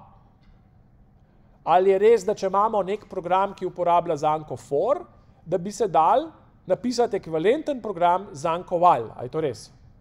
A znate to povedati, kako se to naredi? Se pravi, če imam, če imam, for, kako izgleda for zanka v javi? For, pa imate pa tlele imate neko inicializacijo, ukaz A, pa imate tle nek pogoj P, pa imate tle še en drug ukaz B, ki se ponavadi uporablja, da povečate števc, pa imate pa C. Kaj je zdaj ekvivalentna koda v z whileom, pa brez for, ne? A mi bodo, s čem začnem? Kaj je ta prva stvar, ki se zgodi? A, pol? While? P? Pol se zgodi C, pa B, takole, a ne? In ta dva bi zdaj tako, morala bi biti ekvivalentna. Bomo zelo presenečeni, če ne boste ekvivalentna. Uh, to pomeni, da pravzaprav ne potrebujete zanke for. Zdaj, zakaj je zanka for v, javi noter? Pa zakaj v tej obliki? Točno v tej obliki je zato, ker je taka bila v C-ju, originalno. Ne? Zdaj ne vem, kaj je zgodovina zanke for, se ne bi nič mi ne bi čudil, da je pa prišla z nekega predhodnika C-ja v tej obliki še v, v C. Uh, in je pač tam noter. Ampak, recimo, tisti, ki bo, uh, kdorkoli bo že implementiral Javo, ne, so dobre šanse, da se mu ne bo dal dvakrat delati, aha, tako se pa generira koda za for, aha, tako se pa generira koda za while, bo imel full dela. Mogoče mu bo lažje eno obliko v drugo kvalentno prevesti, pa pol kompilirati naprej kodo generirati samo za eno. In pogosto imajo prevajalniki take umestne jezike, ki so poenostavljeni. No, ampak to je tudi čisto zanimivo vprašanje za stališča razumevanja programskih jezikov. Recimo, še eno vprašanje. Um, tako kot sem definiral jaz svoj programski jezik, je pogojni stavek takole. If pogoj, then a, else b. Pa mislim, da je bilo še celo treba end pisati. Ampak v javi ima stavek if dva, dva, dve možnosti ima. Imate, imate if p, a, else b, tale else b lahko tudi manjka, ni nujno, da ga imate. Se pravi, lahko imate samo, lahko imate samo if p, pa potem a brez else, tudi to je možno. Ampak moj programski jezik ima pa zmeri else. A je to bistveno? A se da tak if, ki nima else, simulirati s takim, ki ima else? Ja? Kaj bi bilo, kako bi tega izrazil s pomočjo tega, kaj bi napisal? If p. Se pravi, kaj, kaj, kaj dam pod else? Else, skip, pass, ne, skip smo mu rekli, ja, skip. Else, pass, else, nič ni treba narediti. Ne. No in take stvari boste mal vadili v, um, vadili v, tudi na vajah, boste imeli vprašanje, je to ekvivalentno temu, naslednji teden uh, in da vidite, kaj se da delati. Zakaj pa potem, zakaj pa imamo neekvivalentne oblike? Zakaj pa ne, zakaj pa ne bi oklestili programskega jezika, da bo čim manj noter? Vse programer ne rab for zanke, vse je while je zadost, vse ne rab, vse ne rab teh ifov, vse lahko piše tukaj le zmeri else, klepaj za, klepaj zraven. Zakaj tega ne naredimo? Ja, ne vem, treba se vprašati, komu to prav pride. Zadnjič sem rekel, uh, programski jezik je orodje, ki je namenjeno programerju. Se pravi, ne delati stvari, ki so namenjene temu, da bo piscu prevajalnika ali pa tistmu, ki uh, dizajnira programski jezik, lažje. Delajte tako, da bo lažje programerju. To pomeni, da če vidite, da en konstrukt pride prav, da je pogost, da se pogosto pojavlja in da bi bilo prav, da bi ga programer imel, zato ker se lahko na ta način bolj neposredno izraža, potem ga dodaste. Tako da včasih ne, so bile te for pa val zanke mogoče še bolj pomembne, kot so zdaj, ne, ker imate zdaj imate iteratorje, pa še vse ostale oblike, pa tudi zanka for se ponavadi v javi se pogosto zdaj uporablja v drugačni obliki, ne, ko gre čez, čez iterator, ne, v Pythonu pa sploh. Um, odgovor je, ja, kljub temu, da imamo lahko velik, da bi lahko oklestel veliko ekvivalentnih z, uh, konceptov na, na ene bolj preproste, to ni nekaj, kar bomo naredili tako, da bo to programer videl. Dajmo programerju primerno okolje za razvoj programske opreme, to okleščenje, to je pa spet nekaj, kar je naloga prevajalnika. Naj si, naj si prevajalnik to sam dela. Naj ima umestni jezik, ki je manjši, pa najprej prevede v tega manjšega in tako naprej. Dobro, to je ekvivalenca programov. Dajmo zdaj pogledati tisto, kar je mogoče še tudi zanimivo in sicer, kako bi pa naredili prevajalnik za tak preprost programski jezik. Kaj pa je zdaj treba delati? Tukaj imate veliko možnosti, jaz sem pač želel pokazati, uh, eno možnost in tukaj imate, to je del uh, programming language Zuja, ki je zbirka takih malih programskih jezikov. Recimo, tukaj imate tega za računati aritmetične izraze, pa potem imate, ne vem, funkcijske programske jezike, pa polimorfne, no in eden od teh je tudi tale z, um, z lupi, tako da uh, to se greste lahko tudi, ko ga zanimajo, kakšne take zadeve, gre lahko malo pogled, kaj tle not. Ampak dajmo mi zdaj pogledati, no, kaj zdaj tle so se, tle se vse pokvarili. Kako bomo delali, kako se to prevede. Okay. Um, poglejmo si, kako, kaj bo ideja. Ideja bo naslednja. A vam je že kdo kdaj, a, a, kdo, a ste imeli kakršen koli predmet, v katerem vam je kdo razložil, kako dela procesor? a jaz ga nisem imel, ampak a ste imeli prvem letniku? A išer majovci, a tudi ste imeli, ok. Pol vam ni treba razlagati, da procesori imajo sklad med drugim, stack pointer, pa code pointer, pa pač take stvari. Ok, se, ne code pointer, program counter, se upravičujem. Ok, uh, imeli bomo zelo, zelo, zelo preprost model hardvera. In sicer model hardvera bo tak, da, bo, da procesor ne bo imel registrov procesor bo delal vse na skladu, vse bo računal z skladom, sploh ne bo registrov in uh, lahko bo pač direktno naslavljal uh, pomnilniške lokacije, pa imel bo stack pointer in ko bo recimo računal, ne vem, add, ne, ne bo sešteval v akumulator, ampak bo sešteval kar tako, da bo vzel ta zgornji dve vrednosti na skladu, jo seštev, dol vzel, pa seštev, pa dal rezultat na sklad. Se pravi, vse bo delal z skladom. In uh, če pogledamo, pogledamo definicijo, ki je tle, imam, ki jo imam odprto. Takole. Se pravi, imamo RAM, imamo program counter, pa imamo stack pointer. To se tle nekje od spodaj vidi. Aha, to je programski jezik, kamal, ki ga bomo tudi če spoznali, ampak nič se bd, kodo se da brati tudi v programskem jeziku, ki ga ne poznate. Se pravi, kakšen, kaj je state of the machine, se pravi, kako bo moj hardware zgledal.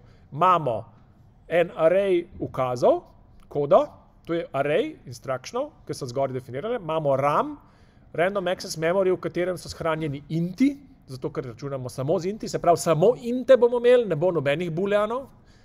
Potem bomo imeli program counter, pa stack pointer. Stack pointer pač ta, ta kaže, to, ta kaže kjer, na to, kjer je naslednja inštrukcija, ki jo treba izvesti, ta pa kaže nekam v RAM.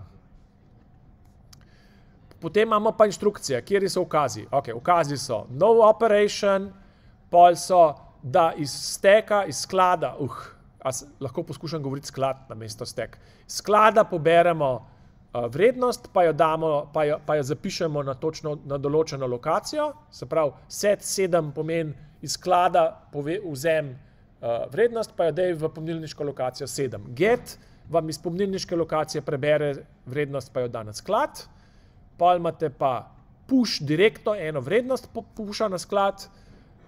Tole so aritmetične operacije, ki delajo z skladom, se pravi, pobere vrednost, dve vrednosti sklada in da rezultat na sklad. Um, to je tudi, aha, ta program, ta programski jezik, ki je v PLZ-u, ima še malo več, ima še deljenje z nič uh, možno, se pravi, ima še del, delite, deljenje postanek. Ima. Pa imamo primerjavo, dve vrednosti primerjaj, vrhni dve vrednosti sklada primerjaj, pa da je rezultat na sklad, nič pa ena uporablja za true pa false. Pol je less than, pa imamo logično operacijo, negacijo, pa imamo pa relativen jump, se pravi program counter za to, pa to spremenimo, pa branch, jump if zero, se pravi, če, so, če je na skladu ničla, pol nared jump. Pa še, zato da bomo lahko delali, dodali bomo ukaz print, zato da iz, direktno iz sklada pobere uh, vrednost, pa je sprinta na zaslon, zato da bomo sploh videli, da se je karkoli zgodilo. Dobro, tukaj tole je zdaj uh, samo kozmetika. Poglejmo, kakšne, do kakšnih napak lahko pride pri izvajanju.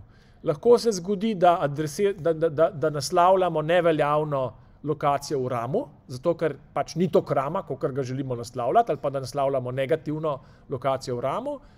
Uh, lahko je illegal instruction, pa se zdaj v resnici ne spomnim, kje je, pa bomo pogledali.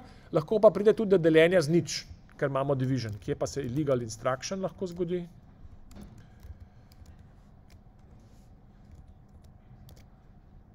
Ne, ne more se zgoditi, kaj, to je brez veze. Ne, okay, ne vem, zakaj smo to imeli. No, in zdaj pogledajte, kako si želite, da dela dober programski jezik. Tako da, ker to vam pobrišem, zdaj bom rekel, aha, tega v resnici ne rabim, to bom vam pobrisal.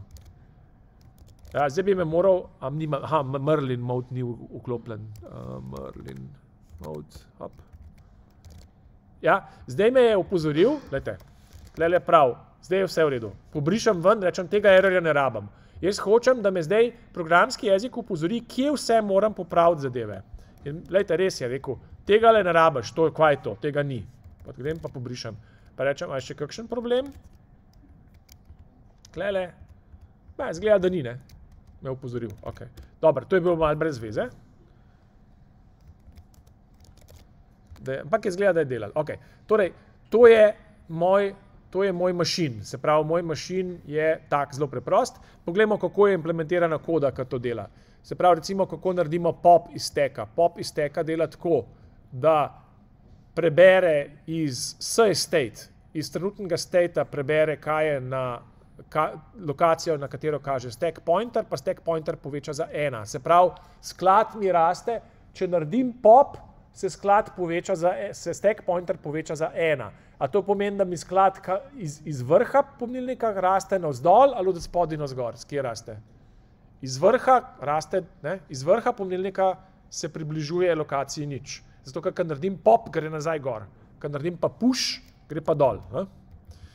No in tukaj so zdaj, tukaj je zdaj, to je zdaj preprost, prevaja, preprost interpreter za moj, sem, za moj, ta moj assembler, no op, nič ne naredi, set, get, dajmo enega pogled, recimo, kako se števa. Se števa tako, ne? Um, poberemo uh, dve lokaciji iz popa, pa pušamo vsoto. Kako delimo? Delimo tako, da poberemo dve lokaciji, popa, ne, poberemo dve vrednosti sklada, potem pa pogledamo, če je y nič, pa če je y nič, uh, če ni nič, pol damo na sklad rezultat, če ne se pa pretožimo, da je prišlo do deljenja z nič. In tako naprej. Uh, gremo pogledati recimo jump. Jump program counterju prešteje k. Se pravi, to je relativni jump. Jump if zero, pogleda, kaj je na skladu. Če je na skladu nič, pol program counterju prešteje k. Okay? Imam zelo preprost model procesorja. Kako izgleda pa prevajalnik? ja, pa še to. Ta programski jezik ima še eno razširitev in sicer do zdaj v svojem, tako kot smo zdaj delali, nismo nikjer povedali, kako se naredi novo spremenljivko. Mi smo se kar delali, da spremenljivke, kar so. Mi bi v resnici potrebovali še eno kaz za nove spremenljivke delati. No, in to je tudi dodano. In sicer novo spremenljivko se tako deklarira. New x je, pa tukaj poveste eno, en izraz tukaj poveste, pa pa tukaj poveste, pa pa rečete in c. To pomeni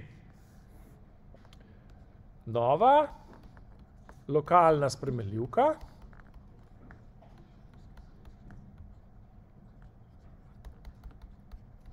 x z začetno vrednostjo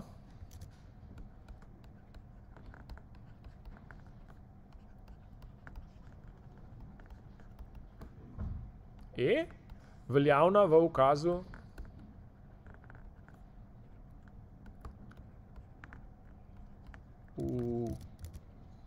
ukazu c. To je, ta sintaksa se vam mogoče zdi malo nenavadna, ampak izhaja recimo iz teh eh, programskih jezikov, uh, uh, ki so v, uh, iz družine uh, programskih jezikov ML, kjer uh, rečete tako, deklariram novo programsko spremenljivko, to ta in pomeni v naslednjem delu kode. Ne. V javi bi bilo to tako. int x je e, c. Tako bi bilo ne, v preostanku kode, tukaj v tem bloku, zdaj v spodi. Uh, tukaj, ni nujno, da, tukaj ni nujno, da stoji tukaj samo en ukaz, tukaj lahko seveda zdaj stoji več ukazov, ki jih spod piči ločimo. To je tudi dodano zraven. Poglejmo si primer enega tacga um, programa, a ga imam.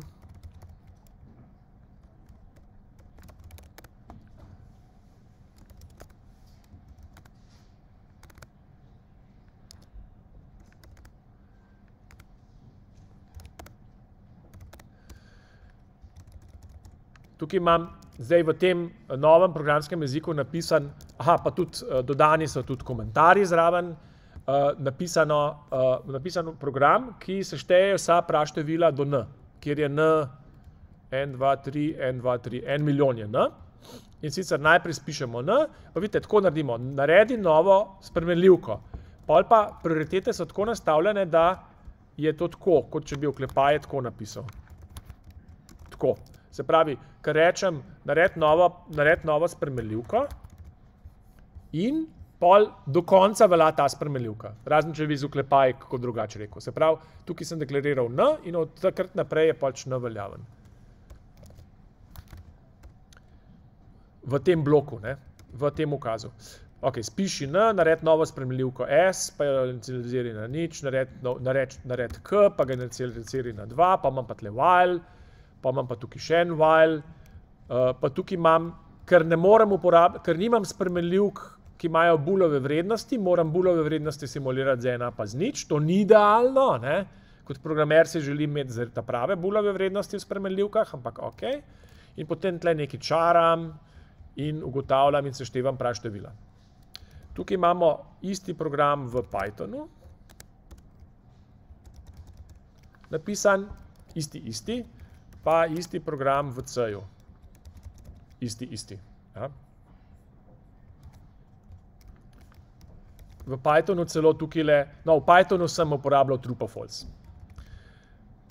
Kakšno vprašanje, kako izgleda ta programski jezik, tak je, kot je bil do zdaj. Ma zanko while, ma if, to je cirka to. Poglejmo zdaj, kako dela prevajalnik. No, najprej ta prva stvar, ki bi jo omenil, je, da prevajalnika je skupaj z prevajalnika je skupaj 100 vrstic, to je 104. vrstica. Se pravi, v 100 vrsticah napišete komentarje in vse, in prevajalnik za tak preprost programski jezik. In sicer, kako deluje, gremo pogledati te bolj, gremo pogledati, kaj znamo povedati. Okay. Se pravi, če imamo spremenljivko, kako prevedemo, kako prevajali bomo, pre, kodo moramo generirati. Če je treba dostopati do spremenljivke x, zračunamo, kje v pomnilniku je spremenljivka x, to naredi pomožna, pomožna, pomožna funkcija location. In rečemo, ja, če hočemo imeti spremenljivko x, jo bomo sam na sklad postavili. Iz pomnilnika preber, koliko je x, pa da je to na sklad. Če je kar konstanta k, jo kar puščamo na sklad. Kako se naredi plus? Plus se tako naredi. Skompajleri, expression je pomožna funkcija, ki prevaja aritmetične izraze. Prevedi aritmetični izraz E1, prevedi aritmetični izraz E2, to skupaj zlož, tale, to, to bo dal seznam ukazov, to bo seznam ukazov, to pomeni stakni skupaj dva ukaza, se pravi, dva seznama. Seznam, ki, uh, ukazi, ki bodo E1 zračunali in rezultat se bo pojavil na skladu. Ukazi, ki bodo zračunali E2 in rezultat se bo pojavil na skladu. Se pravi, v tem trenutku, ko se bodo vsi te ukazi izvedli, bomo imeli na skladu dve vrednosti. Ena je vrednost od E1, druga je vrednost od E2, zdaj pa sam še dodamo add, da se bo seštel. Uh, kakšen bolj zanimiv je recimo while, kje si while? Gremo gledati while. Ok, skip gre v no operation, no surprise there. Print gre, izračunaj vrednost izraza e, pa, ga, pa, pa se bo pojavil na skladu, pa sprinti to, kar je na skladu. Uh, kako se dela assignment? Zračuni vrednost e-ja z nekimi ukazi, vrednost e-ja bo na skladu, pol pa nastavi lokacijo x-a s tem, kar je na skladu. Uh, kako se podpiče prevaja? C1 podpiče pa 2. Ja, to je zelo enostavno, sam skupaj staknemo ukaze. Potem imamo pa while. While je pa malo bolj triki, ne? Pri whileu je pa posebej skompiliramo telo zanke, C, se pravi C črtica je, je prevedeno telo zanke, ukazi, ki bodo telo zanke delali, pol B črtica je uh, ukazi, ki bodo zračunali vrednost boolean pogoja, pa pa delamo takole, rečemo, hm, kaj naredimo. Zračuni, koliko je pogoj, B. Če si dobil false, skoč naprej. Koliko naprej moraš pa skočiti? Skočiti moraš toliko naprej, da boš skočil čez telo. Se pravi, tukaj je treba preračunati, koliko daleč je treba skočiti. N je, N je število ukazov v telesu, se pravi, bomo skočili ravno nekam čez, ja? če smo dobili false.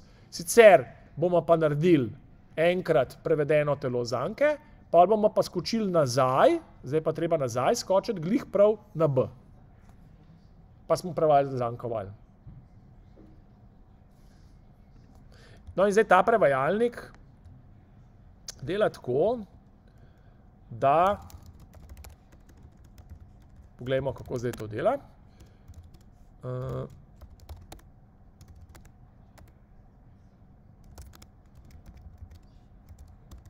pa imam tudi tle. Ja. Pa tle zgleda nekaj ni poseven, kaj pa ni poseven. Tako. Se pravi, tukaj imam recimo, pogledamo si ta primer, ki smo ga imeli prej, da imam, uh, da hočem sešteti števila od 1 do 100. Um, S nastavim, zdaj moram tudi deklarirati, ne, imam novo spremljivko S, nastavim jo na nič, nastavim jo na 1, dokler i manjši 101, S-ju prištej S plus I, I-ju prištej I plus 1, dan sprinti S. Najprej bom ta program pognal.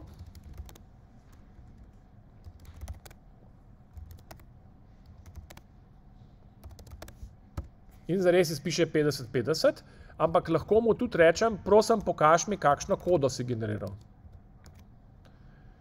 Tako. In zdaj mi je pokazal, kakšno kodo je zgeneriral. To je zdaj ta prevedeni program. Najprej je, zračunal je, da je S na lokaciji nič in je rekel, na stek, da je ničlo. Na lokacijo nič, da je vrednost tega, kar je na steku. S tem smo inicializirali S na nič. S tem smo inicializirali I na nič, ker I je spravljen na lokaciji ena. Ja? To je zdaj posebno ločeno vprašanje, kako ve, na kjeri lokaciji je kjera spremenljivka, ampak i je na lokaciji ena in sprav nič na eno. Potem pa reče, poglej, koliko je i. Ko, na stek dej i, na stek dej 101, primerjaj. Ja? In ta primerjava bo dala nič, če ni uspela, nič je false. Se pravi, če si dobil false, to pomeni, če i ni manjši od 101, pet naprej za 9 ukazal. 7 plus 9 je 13, 7 plus 9 je 16, pa za ena se bo program counter itak povečal, se pravi, bomo šli na 17. In bomo šli na 17 in bomo na stek dal vrednost s-ja, ker na lokaciji nič je s, pa to sprintali. Če pa ni bila vrednost, če pa, če pa je pogoj, če pa pogoj je, se pravi, če nismo dobili zero, kar pomeni, če pogoj uh, je izpolnen, se pravi, če je res, da je i manjši od 101, potem pa poberemo, na stek damo s, na stek damo i, seštejemo, spravimo s. Na stek damo i, na stek damo ena, seštejemo, spravimo v i. Zdaj smo naredili s je s plus i, i je i plus ena. Skočimo nazaj za, za 13, to je na lokacijo številka 3, pa program counter se bo za ena povečal, se pravi na 4. Pa gremo sem, pa smo na začetku zanke. To je to ni tako kompliciran. Ta pravi prevajalniki delajo mnogo več kot to, ampak treba začeti pri eni preprosti zadevi, da vidite, kako se to dela. Dajmo tako za hec še probati, koliko pa to hitro dela. Se pravi, tukaj le sem imel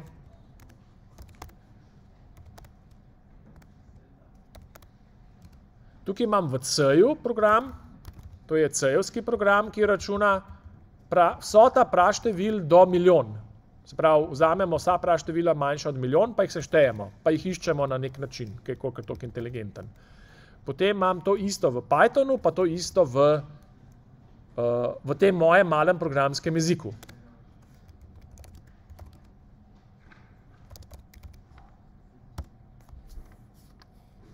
Zdaj bo GCC to prevedel, ok. Uh, C je rabu tako, to so zdaj zelo ne statistično irrelevantni uh, podatki, ampak C je rabu 0,12 sekunde za to, da je to naredil. Se pravi, uh, a veste, kaj je to? To je time, tako izpisuje. To je real time, se pravi, temu se reče tudi wall time, koliko je ura pokazala. Ura če bi gledali, koliko časa je to dejansko trajalo, trajalo je 0,13 sekund, ali pa demo tega gledati.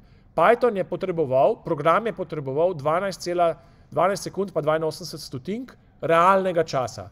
Od tega je tok časa porabil dejanski uporabniški program, pa tok časa je uporabil operacijski sistem. Sicer ne vem, kaj je operacijski sistem delal, ne? pak nekaj je delal ne? in ga je tok porabil. Verjetno je potreboval to za zagon. Medtem ko kom je pa porabil 40, slabih 40 sekund časa, pa tudi je operacijski sistem neki štrikov. To si predstavljam, da je bilo to zato, ker je okamljavski program, ki se je zagnal, je nekaj gledal, ne, neke file odpiral, kaj sem kaj delal. Uh, pa preostanek časa je pa porabil za računanje. Torej, kje smo zdaj? 39,63 deljeno z recimo C. To je 300 krat počasneje kot C. Pa trikrat počasneje kot Python. Tako da, um, vidite, da ne, tako to vam da malo občutka, ne, brez kakršnega koli truda, ne, da bi se karkoli ukvarjali s tem, koliko hitro zdaj to dela. Šolski primer, ne, pridete recimo na trikrat, na, trikrat ste počasnejši od Pythona. To pomeni, da če boste recimo hoteli implementirati en svoj mali programski jezik, ne, če ga boste rabili tako za nek scripting, da bo nekaj malega naredil, da ne bo veliko računal, bo v resnici za dosti dobro delo. Ne. To še enkrat pač vidite, da ne optimizirate tam, kjer ni treba. Ne. Optimizirajte svoj čas, optimizirajte to, da vam da, da čim manj časa porabite za razvoj kode, da je koda čim lepša, da je čim bolj manageable. Tam, ko pa je treba optimizirati, se boste pa že potrudili. Pa itak vam ne bo treba nič optimizirati. Če, bo delala, če, bo, če boste imeli procesiranje podatkov, pa bo delal prepočas, bo kriva podatkovna baza, pa vi, ki ne znate select stavkov pisati, ok, select stavke morate znati pisati. Ampak baza, ne, pa, baze pa baza. Ne, in boste pač rekli šefu, aha, ne, ne moramo MySQL uporabljati, da jim je 500 tisoč evrov, zato da si kupim Oracle in pol boste delali. Ne. To je recimo tipična rešitev. Ne. Ampak tako, meni se zdi zanimivo, ne, da ni treba se preveč pretirano matrati, da pridete tako za faktor 3 do Pythona. Ne. Python je, mislim, da je v C-ju implementiran, tako da tam še nekaj pridobimo malga, ampak ne velik. Za take vrste programov med okamlom pa C-jev ni po moje skoraj nobene razlike koliko je ura, 11, kakšno vprašanje? Ok, no, se vidimo naslednji teden, nasvidenje.